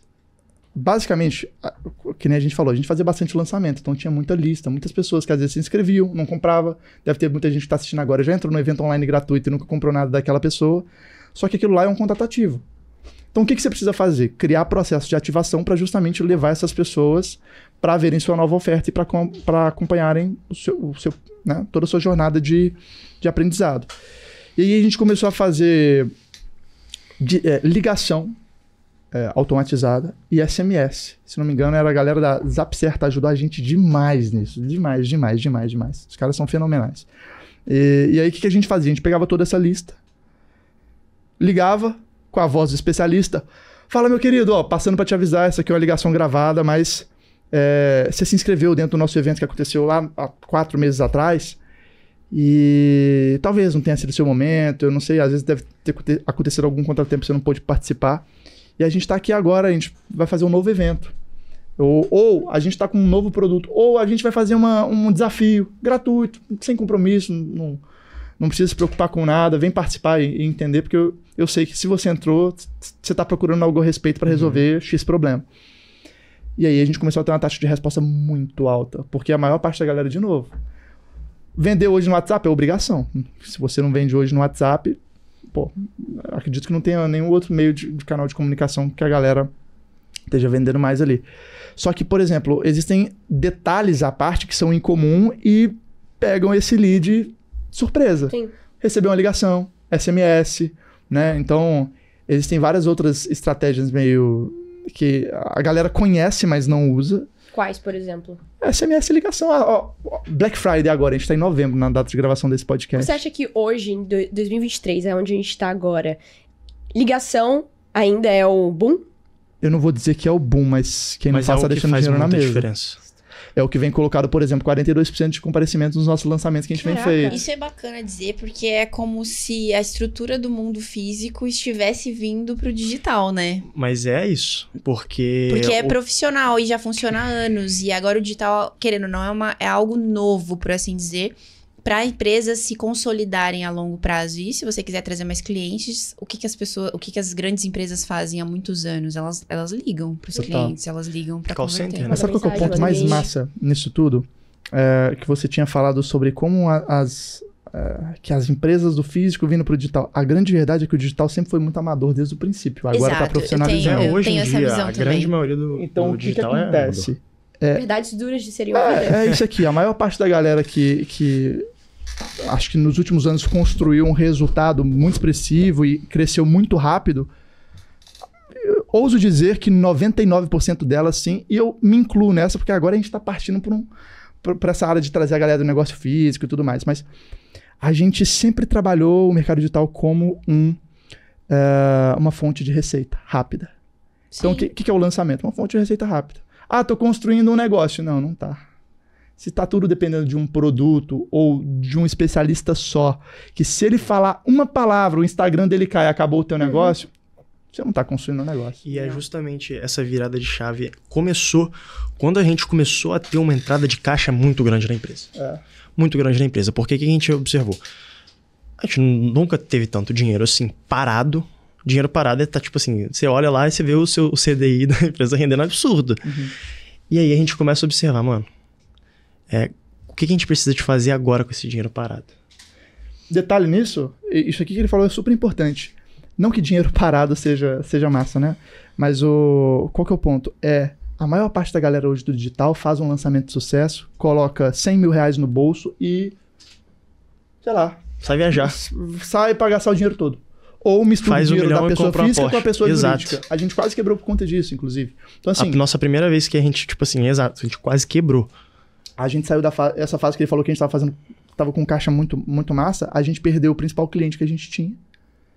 Assim, é, por, por ego, por vários outros fatores de imaturidade emocional é, da nossa empresa, né? A gente é jovem, mas estamos lidando com isso. E, e aí, qual que foi o ponto que, eh, que salvou a gente foi justamente a construção de caixa. Porque, por exemplo, uma parada massa. Isso aconteceu recente, foi final de 2022. O primeiro trimestre de 2023 foi prejuízo todos os meses.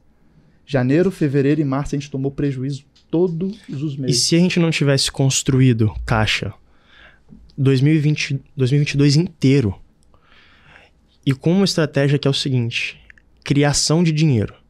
Ah, eu quero fazer um. Vamos, vamos fazer um lançamento. Dá um exemplo da melhor de compra de, De bem compra, é tá. melhor que tem. Ó, eu quero comprar essa caneca aqui. Tá, vamos criar o dinheiro e aí a gente compra essa caneca. A gente não mexe no nosso dinheiro. Você tem o 100 nosso reais. dinheiro você fica compra lá. A caneca ou Você compra a caneca e você, você compra a caneca com o dinheiro que você criou e o seu dinheiro fica parado. Tá, você tá falando do dinheiro empresa. Dinheiro Isso. empresa. Tá, então Dinheiro se eu empresa. quero comprar uma caneca, eu, pessoa física, eu não tenho que misturar o meu dinheiro empresa nos meus. Não, isso, isso também funciona, mas só Ah. que eu digo na, no viés de empresa. Ah, tá, entendi. No viés de empresa, tipo, ó, a gente vai fazer uma viagem de para visitar um cliente. Tá, a gente vai gastar quanto nessa viagem? 5 mil reais. Contando moradia. É, Hotel, é, hotel, tal, tal, tal, tal. Uhum. E aí, tá bom. Quatro semanas, três semanas antes, a gente vai. Vamos, vamos criar o dinheiro pra gente fazer essa viagem sem mexer no nosso dinheiro. Entendi. Entendi. Isso foi o que fez a gente criar um caixa sólido. E o que é criar dinheiro? Como é, é- é- seria lançar uma, uma- Lançar um outro produto coisa, fazer com uma o oferta. fim de, tipo, arrecadar dinheiro para esse objetivo. Isso, Pô, quer ver exatamente. um, um exemplo massa? Como é que a gente fazia para criar dinheiro no caso da nossa empresa? A gente tinha duas formas. A primeira, ou a gente. Perdão, três. A primeira, ou a gente criava um produto novo e lançava isso para a base que a gente já tinha construído do especialista. A segunda, eu comecei a me, me colocar como especialista, a gente estava fazendo um resultado muito massa, eu me senti a necessidade, às vezes, de estar compartilhando isso, então a gente vendia alguns produtos meus. E o terceiro ponto que a gente fazia é abrir, às vezes, um. um- às, vezes, às vezes a gente pegava algum projeto pontual ali para fazer, ó, tá com tal projeto ali para tal cliente ali tá com tá com uma necessidade de fazer tal serviço. A gente consegue, a gente aguenta, aguenta, bora, vem. Então é, é sobre isso. E é, é- é frenético, porque assim, é, vamos, vamos fazer a viagem? Vamos, 5 mil, beleza. Tá. A gente tem até qual a E data? como eu, custava, eu, eu cuido do financeiro da empresa também, o João quer gasta dinheiro igual doido às vezes. não, não, vamos fazer negócio. E aí eu A falo, gente não. merece, E a aí, gente merece, nossa, ele e é a gente perigoso. merece, é o mais. É, o- Ele é a perigoso, frase mais gente perigosa merece. do que alguém. É eu não sei quem criou essa coisa. Eu mereço. Você é merecedor, você é merecedor. É Fala legal vocês negativo. dizerem isso porque na minha cabeça se é se comprar essa caneca é um investimento para a empresa, eu entendo que em algum lugar da empresa precisa ter um dinheiro para esse investimento, Exato? Carol. E outra coisa. O dinheiro da empresa não é o seu dinheiro. Sim. O dinheiro da empresa é o dinheiro da empresa. A empresa é uma instituição. Você é Carol, pessoa física. Mas e se essa caneca for investimento da empresa? Aí a gente chama isso de alavancagem, Ah, é exato. diferente. Mas é, mas o dinheiro que eu uso pra comprar essa caneca, eu posso pegar da empresa ou ainda crio dinheiro pra ela? Vai ser usado Depende. pra empresa? Sim, é isso que eu tô falando. Exatamente Aí- aí isso que eu tô beleza, falando. Aí beleza. Depende, quando é que esse dinheiro volta, então? Você Então tem toda agora- uma. Então é legal dizer isso Sim. também, porque, Porra, massa. tipo, e- essa visão de comprar a caneca, mas a caneca é pra empresa e a gente sabe que o retorno disso aqui vai ser X. Então é legal, é ok eu Uhum. usar parte do meu dinheiro da empresa pra investir na caneca porque o retorno vai ser X. Sim. Por exemplo, é, quero fazer o investimento de comprar um treinamento, uma mentoria. Massa. Peraí, vou entender a mentoria. Deixa eu perguntar aqui pro produtor. Cara, como é que vai funcionar? É, eu tô precisando disso, disso, disso, disso, disso. Você consegue me ajudar? Consigo. Em quanto tempo, mais ou menos, os seus alunos vêm tirar o resultado nesse, nesse, nesse formato seu? Utilizando essa estratégia? Ah, em tanto tempo. Massa, beleza. Quanto que é pra fazer a... Aí entra um ponto muito massa, porque, por exemplo, a Dá gente... pra contar a história da agora, que tá acontecendo agora. Do quê? Porque basicamente a gente criou esse braço da empresa de prestação de serviço Ah, é. e a gente comprou uma mentoria de 5 mil reais. que a gente 5 mil reais. E aí a gente falou, mano, tá. Eu falei pro João, tá, você vai comprar isso aí, mas vamos criar o dinheiro antes. Aí ele só, já só passou o cartão lá. Eu falei Mas assim, só mano, que qual que é a vai parada? voltar e boa. É, tem quantas semanas? Tem umas quatro semanas. Ah, pô, isso é massa. Tem umas A gente já semanas. criou uma recorrência de, de 20, mil reais. Já voltou, então. Já Que voltou. vai vir mês que vem de novo, que tá previsto para os próximos três Porque a meses. gente fechou contrato com esses clientes. Então os clientes eles têm de pagar pra gente 2 mil a 2.500 todos os meses. Tá, então a mentoria vocês compraram com o dinheiro da empresa. Aham. A gente comprou com o dinheiro da Porque empresa. era algo que vocês visualizavam. E também que era tangível. É porque era algo que a gente já ia aplicar ali na hora. Eu falei, velho, é melhor a gente pegar esse direcionamento agora, pegar um detalhe ou outro, porque eu, eu sinto assim, é, às, às vezes a galera acha que é é no complexo que tá o resultado, mas não é, é do Não é. simples bem feito. Sim, total. Então, se eu vou feijão. pegar um detalhezinho, uma frase, cara, por exemplo, a frase que mudou o nosso 2022.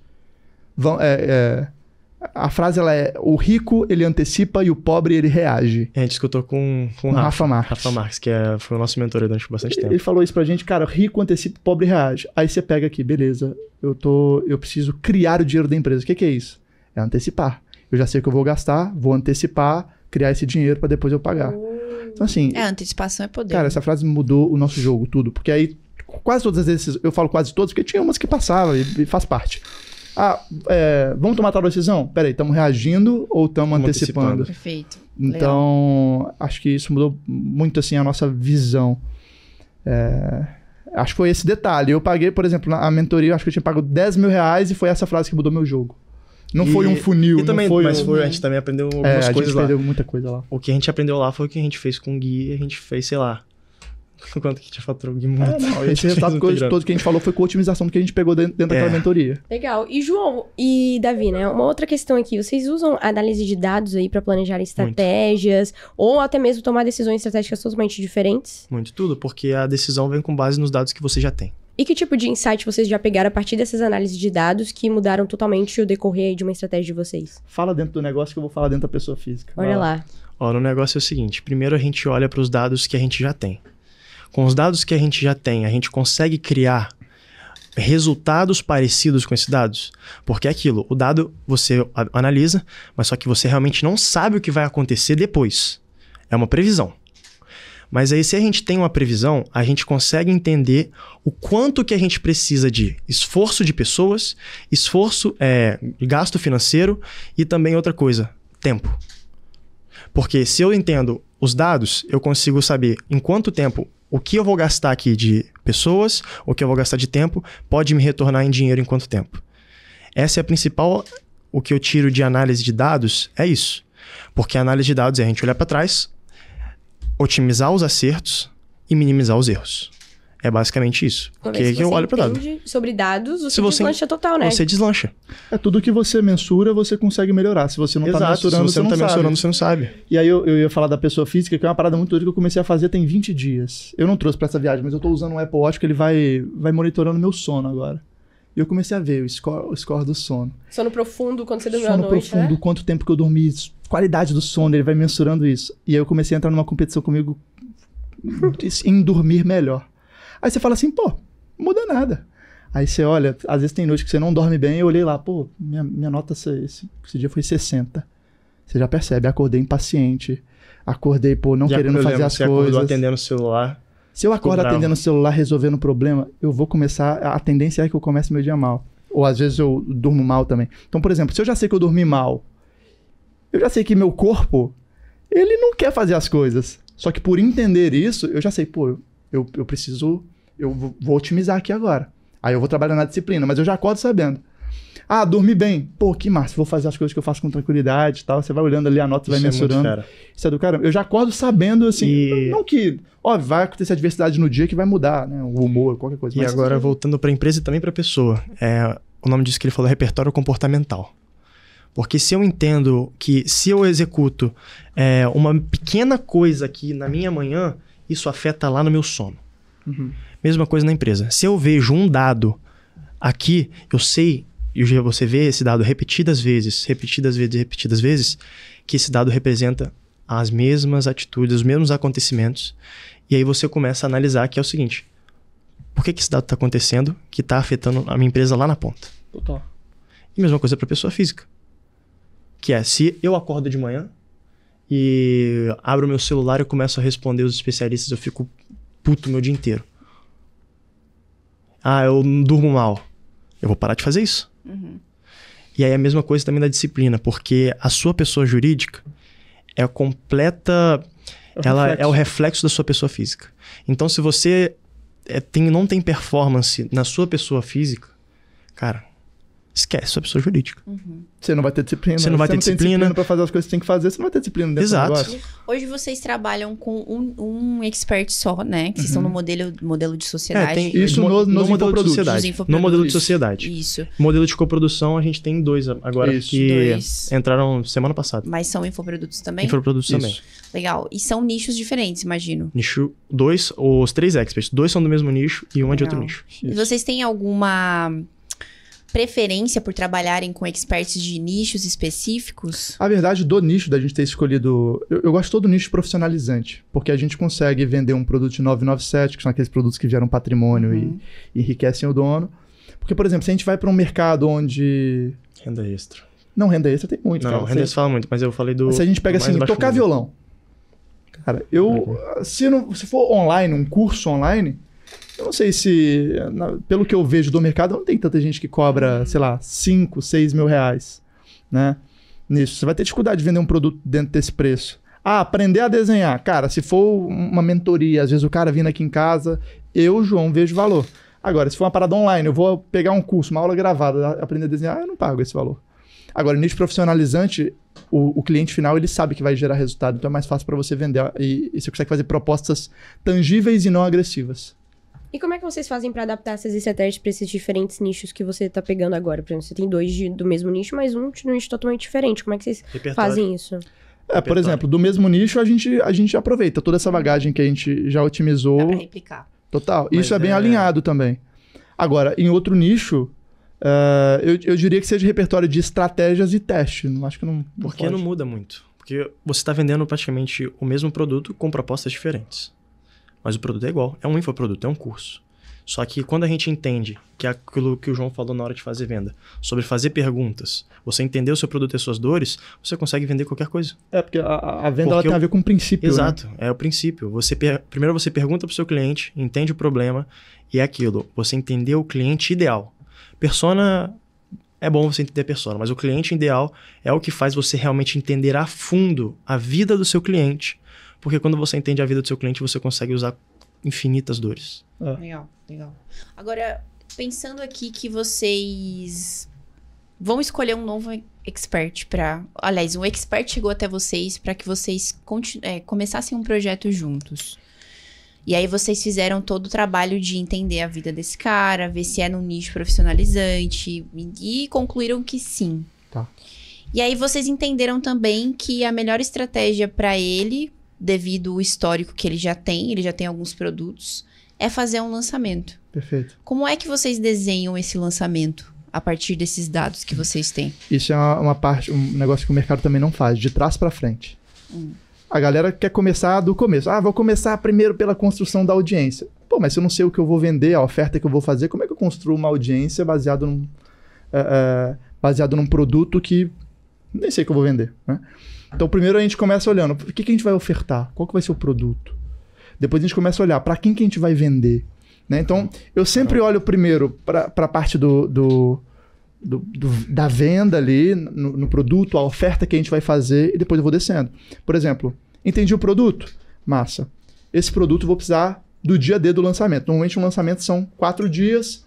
Primeiro a gente, os três primeiros serve para elevar o nível de consciência e deixar o cara pronto para comprar e no quarto a gente faz o vídeo de vendas. Legal. Então, é, o que acontece? A gente, é, entendendo o produto, eu vou desenhar tudo que eu vou falar dentro desses quatro dias. Desenhei o que eu vou, vou falar dentro desses quatro dias, agora eu preciso pensar qual é o conteúdo que vai antecipar esse evento. Ah, de- definir a antecipação, qual é o cliente que vai se interessar por isso? E eu começo a trazer, eu começo a trazer do meu seguidor o cara que está, o, o cliente que eu estou mirando lá na frente. Então, esse é um processo que eu acho que faz total diferença e, e faz você ter uma visão melhor da- do lançamento, a fim de otimizar. Porque às vezes você constrói uma audiência, aí você nem sabe se, aquela- se aquela galera está engajada com o evento que você vai fazer, não sabe se a galera está engajada com o produto que você vai vender. Então, E para saber esse tipo de informação, vocês fazem algum tipo de pesquisa pergunta diretamente com o cliente. que no a um ali no direct. No direct funciona muito bem. é, Vocês rodam formulário. Não, eu, gente já, já, já rodamos algumas vezes, a gente usa o formulário mais para sentir se a galera Tá aquecida. no grupo tá? tá aquecida. Tá. E também o nível de, o nível de lead que a gente tem. É. Porque dependendo das respostas que a gente, que a gente pega, capta dentro do, do, desse formulário, a gente entende se a gente precisa, se a gente consegue vender no primeiro CPL, a gente entende se a gente consegue fazer outras reaberturas, a gente entende como é que tá o nível das pessoas. Porque se eu entendo como é que tá o nível das pessoas, eu consigo preparar um conteúdo diferente, consigo um- preparar um conteúdo mais denso. Se a galera tá no nível mais baixo, a gente consegue preparar um conteúdo muito mais topo de funil assim. Então, tudo depende ali da qualidade e da profundidade do lead. Legal. E o João comentou, inclusive, nas nossas conversas que eu tava te perguntando sobre a sua pesquisa, você falou que você trabalhava com duas ou três estratégias diferentes, mas personalizava de acordo com o nicho, de acordo com o especialista, né? Massa. Tem como você trazer aqui um exemplo pra gente ter algo, uma percepção muito maior de uma estratégia que você usa normalmente, dessas duas ou três que você pega, que você adaptou pra um especialista específico? Claro, a gente usa três. A primeira é um formato que o pessoal chama no mercado de meteórico, que ele é um lançamento mais rápido, ele é um formato de Black Friday, onde basicamente o meu objetivo é trazer o maior número de pessoas já conscientes do produto, já conscientes do problema, para dentro é, de um grupo e eu faço uma oferta única exclusiva num preço, ou num preço promocional, ou uma oferta exclusiva. Ué, João, preço, preço baixo não é a mesma coisa que oferta? Não. Preço é o quanto o cara vai pagar. A oferta tem a ver com os entregáveis. né? Então, ou às vezes eu faço uma. Crio vários entregáveis que eu nunca coloquei junto, ele vai, ele vai ter a oportunidade de comprar um pacote num, num valor específico, ou faço um desconto, por exemplo, de uma Black Friday, e, sei lá, baixo 40% do valor. Então isso atrai bastante. Essa é a primeira estratégia, a gente faz normalmente quando a gente já tem uma galera que a gente chama de demanda reprimida. Várias pessoas já pedindo o produto. Não- a gente não precisa de tanto esforço assim para vender Muito melhor. muito melhor. A segunda é a estratégia de high ticket, que a gente falou aqui an- anteriormente. Então, basicamente, a gente tem, a gente capta bastante seguidores. Esses seguidores são nutridos ali dentro do perfil, a gente faz esse, esse processo de um a um. É, obviamente, esse processo de um a um, ele sozinho não é responsável por essa- todas essas vendas. Precisa ter o, o conteúdo ali no perfil, né, os stories ativos, isso tudo é muito importante. E aí, dessa, dessa galera dentro do perfil engajada, a gente leva para uma call de vendas. E aí, dentro dessa call, a gente faz a oferta de produtos mais caros para clientes que já estão mais ativos conosco mais tempo. Né? Então, de, de maneira resumida, essa seria a estratégia para vender os high tickets que a gente tem. E a terceira a gente varia, porque é, na verdade são três, quatro, né? A terceira seria, o- seria o webinário padrão. É um formato de VSL, que às vezes o pessoal já está acostumado, que é um, um vídeo de vendas. Só que a gente gosta, a gente se amarra, na verdade, em fazer ele ao vivo no Zoom. Tem muito mais engajamento. Com um expert? Com Com expert. Oh, mas aí ele tem que ser bom, né? Tem, tem pra que ser bom. contar a história ali. Porque o que, que eu imagino? Uma VSL contando toda uma história. Claro que tem estruturas diferentes dependendo do nicho e da, da intenção ali da, da- do, do produto mesmo em si.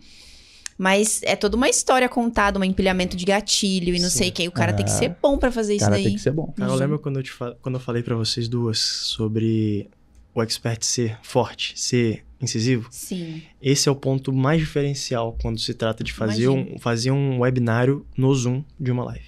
É. Porque Se o cara não for bom, não se o cara não for bom, não sustenta. Nem Fica adianta fazer. Oh, uma, Nem uma, adianta. uma, uma curiosidade agora. Vocês, como coprodutores, é, estrategistas de negócios digitais, trabalham com, trabalharam aí, tiveram essas experiências com experts de diferentes Sim. perfis também. Uhum. O que, que vocês olham que define que aquele expert é um expert em potencial? Qual é a primeira coisa que você olha de característica que define que aquele expert é um bom expert para Perfil de trabalhar? comportamento dominante. O que é o perfil de comportamento dominante? As pessoas têm quatro perfis de comportamento. A gente chama isso de DISC. Uhum. D de dominante, I de influente, S de tem a ver com estabilidade, né? Porque é, o DISC ele é, ele é em inglês, e o C de calculista ou conforme.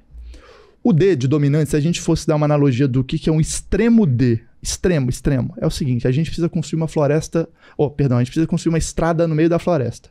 O D, ele é o seguinte: a data é essa, esse aqui são os materiais e vai estar pronto no dia X. Ele é esse cara. Meta, desafio, é o que ele gosta. O, então é um cara muito movido assim pro resultado, mas qual que é um grande problema dele? O extremo. Ele tem dificuldade de se importar com o sentimento das outras pessoas. Então, às vezes, ele passa por cima do sentimento das outras pessoas. O I, que é o influente, aí vocês já vão identificando aí quem vocês são, os especialistas de vocês. O I influente, ele é um cara que, naquela analogia da nossa floresta, ele seria o cara que ia preparar toda a organização, a, a, a, a, festa para a inauguração da, da estrada, é aquele cara das ideias que gosta de comunicar quando ele chega, o, o ambiente brilha. É, e ele tem um, um, grande problema que é, muitas das vezes, ele é, quer as coisas mais só para ele, ele quer ser o centro das atenções e às vezes ele não deixa os outros falarem, por exemplo. Isso é uma coisa importante, tá? É, Isso é uma coisa que a gente estava conversando Deixa eu só explicar também, tá? os dois vai. para a galera Finaliza, pegar. finaliza, finaliza. Então esse aí é o I. O S de estável é aquele amigo que quer comer batata frita, ele chega lá no McDonald's, tá todo mundo pedindo nuggets, ele vai pedir o nuggets. Então ele, ele é o cara que não gosta do conflito, ele é mais tranquilo, Ele vai junto com a manada. mais Uhum. paciente. Eu não diria que ele vai junto com a manada, mas ele não gosta de... Ele não gosta de conflito. Ele, É basicamente isso, ele, ele não não gosta de conflito. É, boa, ele não gosta de conflito. E o calculista é o cara da planilha, é o cara que se o número não bater, ele não quer. Então seria o cara que ia desenhar toda a estratégia ali da, da construção da 1% que estrada. ele construiu, ele fica irado. É, o extremo. O extremo fica. Então, é, e aí qual que é o ponto negativo desse calculista? Ele, às vezes ele é perfeccionista demais. Ele quer as coisas 100% dentro do planejado e na vida real não é assim que funciona. Uhum. Qual que é o ponto negativo do, do estável? É porque muitas das vezes ele deixa de se impor por, por causas que verdadeiramente às vezes fazem sentido para dentro do negócio, buscando aprovação. Então, hoje, quando a gente, a gente percebeu que a galera que mais tem resultado dentro do mercado digital são os dominantes. Então, se você É pega. verdade, né? Se você olha, bate, para Bate pra pensar, o primeiro, a primeira pessoa que me vem assim como expert é Pablo Marçal. Marçal, Ele mesmo. Wendel Carvalho. O Wendel Carvalho são pessoas extremamente dominantes, Os assim, outros, líderes de grande- comunidade. Uhum. Grande parte de todos os coaches, esses que colocam realmente a cara ali, eles têm esse perfil comportamental de tubarão. Que é o cara que. É o cara que olha assim pra você, ó. Ah, e Tipo, a fica galera que maluco. às vezes não tem isso. Pô, João, eu me identifiquei aqui com o conforme, com o estável. Cara, você vai, você precisa trabalhar outras áreas, Uhum. né? Então, ah, eu tô dizendo que você nunca vai ser um bom comunicador, você nunca vai ser um grande expert, óbvio que não, né? Mas você vai ter que trabalhar, eh, você vai ter que trabalhar um pouco mais do que o cara que já tem essas pré-habilidades, né? Então, é, acho que acho que esse é o esse é o jogo.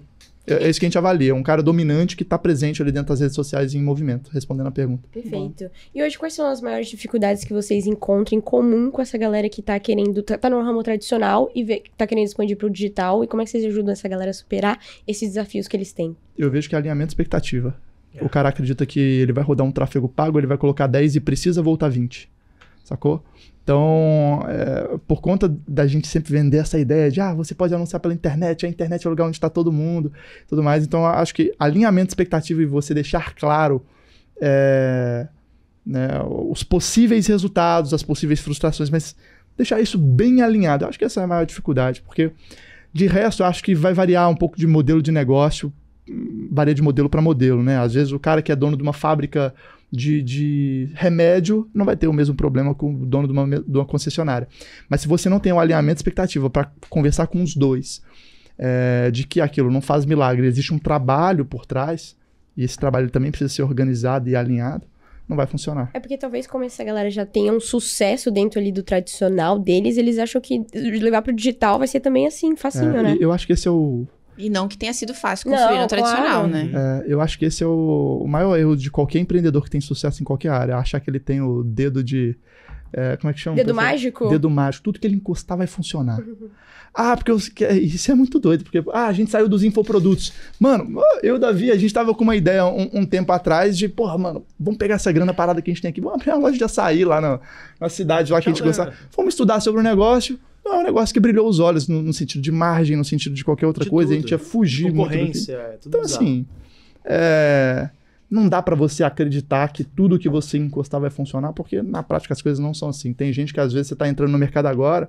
Eu tava até brincando com, com o Davi. O Davi sempre falou que queria trabalhar um pouco no setor farmacêutico, criar indústria, algo do tipo. A gente foi dar uma estudada. Hoje, um pequeno player dentro desse mercado, Pra ele abrir uma. pra ele abrir uma fábrica. parada tranquila, um laboratório. São 200 ele- milhões. 200 Pra milhões. Pra abrir, pra começar, pra, pra ser peixe pequeno dentro do mercado. Então, se você não tem esse conhecimento, se você é, é, acredita que só porque você fez ali o, o- a, a sorveteria do tio João funcionar e você vai fazer qualquer outro negócio performar, acho que esse é o maior erro de quem, quem consegue ter E resultado. qual que é a maior vantagem em trabalhar como prestador de serviços para empresas tradicionais? Eu vou falar uma, depois se você quiser, você pode citar outras, mas eu acho que é você receber primeiro antes de entregar o serviço. Então você trabalha sempre com caixa positivo. Por exemplo, se. Vou ter um mosquitinho. Ele tá me... Ele tá- eu, tô- me eu tava quase, teve uma hora que eu ia fazer assim, ó, só que eu pensei, poxa, aquela assim, juro. É, é, qual que era a pergunta? Qual que é Ah, a maior vantagem de trabalhar com prestador de serviços de empresas tradicionais? Eu acho que é o caixa positivo, no sentido de. Primeiro que as, empresas, as grandes empresas tradicionais elas têm um marketing muito ruim. Ponto. A maior parte da galera tá muito acostumada com indicação e com indicação você não escala. Né? A maior parte das empresas hoje do mercado tradicional depende de indicação. Tem um negócio fundamentado na indicação. É, então, não tem um marketing tão elaborado. E o segundo ponto que, que eu falei do caixa positivo é eu recebo primeiro antes de entregar. Lembra que a gente tinha conversado do- da experiência do primeiro lançamento? A gente Uhum. ficou de maio até outubro e se desse nada, ia ganhar nada. Então, isso, é um, isso atrapalha um pouco mais o, o fluxo de caixa. E principalmente para a galera que está começando, eu acho que acaba sendo um empecilho maior. Eu, eu gosto do lance da prestação de serviço justamente por conta disso. E o outro ponto também é previsibilidade. Isso. Previsibilidade é o ponto 01 para qualquer pessoa que quer começar no mercado. Então, se a gente tem alguma dica para essa galera que está começando, é exatamente isso. Prestação de serviço com contrato, porque ele vai te dar previsibilidade e vai te dar segura... previsibilidade nada mais é do que segurança. Uhum. Porque se eu sei que hoje a gente tem ali, vamos dizer, tem oito clientes que me pagam dois mil reais. Eu sei que no mês que vem, se eu tenho um contrato, eu vou ter mais 16 mil reais e eu vou poder fazer qualquer outra coisa sem mexer nos meus 16 mil reais. Que é a questão ali também de criar dinheiro. Ué. Porque se você tem a possibilidade de mexer os pauzinhos, testar coisas novas sem afetar o seu caixa, é o cenário perfeito para qualquer pessoa começar no mercado. E é isso. Esse vem sido o nosso foco, inclusive aí para 2024. A gente falou da, da criação dessa nova empresa, né, dos 20 mil. A gente está com 12 clientes agora ativos. Legal. Nossa meta é fechar 2024 aí com 230 clientes, com contrato fechado. E nessa média de serviço, eu acho que não vai ter nada que vai tirar a gente dessa meta aí. Olha Então, lá. É. Vambora. e- isso assim, em um ano de empresa, eu acredito que seja um resultado massa, é tangível. E, e vamos para cima. Com certeza. Daqui pra cima, né? Pô, que papo legal, que papo Sim. cabeça, né? Vocês têm muita maturidade, apesar da pouca idade de vocês. Realmente foi um papo bem legal de se ter tido. E você, achou que Eu Carol? adorei, vocês gostaram? Pô, demais. Boa. Aprendi muito. Mas ó, Muito a gente não acabou, porque eu tenho uma pergunta reflexiva que a gente costuma fazer aqui no final do episódio. Eu quero saber se vocês topam responder pra gente. Vai lá. Então olha lá, hein? A pergunta de responsa. Que mensagem vocês gostariam de ter escutado no começo do digital de vocês, que hoje vocês podem compartilhar pra quem tá pensando em entrar aí dentro desse mercado? Você começa. Eu tô com medo de falar a sua. Eu vou. Essa não é minha. Não, eu, essa aqui- eu escutei de um, de um cara que eu respeito muito dentro do mercado tradicional, que é sucesso não aceita preguiça. Então, é, parece meio coach, parece meio papo cabeça, mas é a grande verdade. É, às vezes a gente tá parado ali, é aquele dia que a gente fica largado dentro do sofá. Se você mentalizar essa frase certinho do sucesso não aceita preguiça, você vai parar e falar assim, porra, mano, se eu quero ter um negócio sério aqui de verdade, eu preciso estar concentrado em fazer as coisas acontecerem. E se você tiver o pensamento que o seu concorrente está começando e está levantando mais cedo que você, já era. Não tô falando para acordar 5 horas da manhã, não, tá, galera? Justo. Mas é, é não deixar essas distrações tomarem conta aí do, do, da jornada de vocês. Perfeito. Cara, e a minha é um pouco mais filosófica. Vamos lá, Davi. Vamos lá. Não se deixem levar, primeiro, pela vaidade e pela falta de princípio de outras pessoas. Porque esses dois pontos vai fazer você ir à ruína. Porque se vamos olhar assim para onde o mercado das pessoas ditam mais para hoje em dia. Apostas, todas essas coisas que, que, querendo ou não, prejudicam as pessoas. Então, se eu tenho algo que eu tô voltado ali para prejudicar alguém, se eu tô voltado ali para prejudicar alguém, construir algo que realmente não vai estar tá edificando a vida de outra pessoa, cara, pula fora disso. E se você vê ali algo voltado para vaidade, ah, meu Deus do céu, quero ganhar um carro, quero ganhar, quero trabalhar para poder fazer é, um milhão, mano, não é isso que vai realmente fazer você feliz. Fazer... Não tem problema ter o sonho, não. Exato, não tem problema pode. ter sonho, sonho é incrível. Eu, eu, quero ter carros, eu, porque eu gosto de automobilismo e tudo mais. Mas o mais importante de tudo, cara, é você prezar primeiro pela família e parcerias. Porque o que eu e o João tem, cara, a gente trocou muita ideia sobre isso. É algo incrível. É que primo, é, que é irmão, que é É primo, toda. que é irmão, que porque no final das contas, cara, quando acaba o dinheiro, quando acaba o carro, acaba tudo, o que resta é as Fala. pessoas que você construiu e que você que, que te construíram também.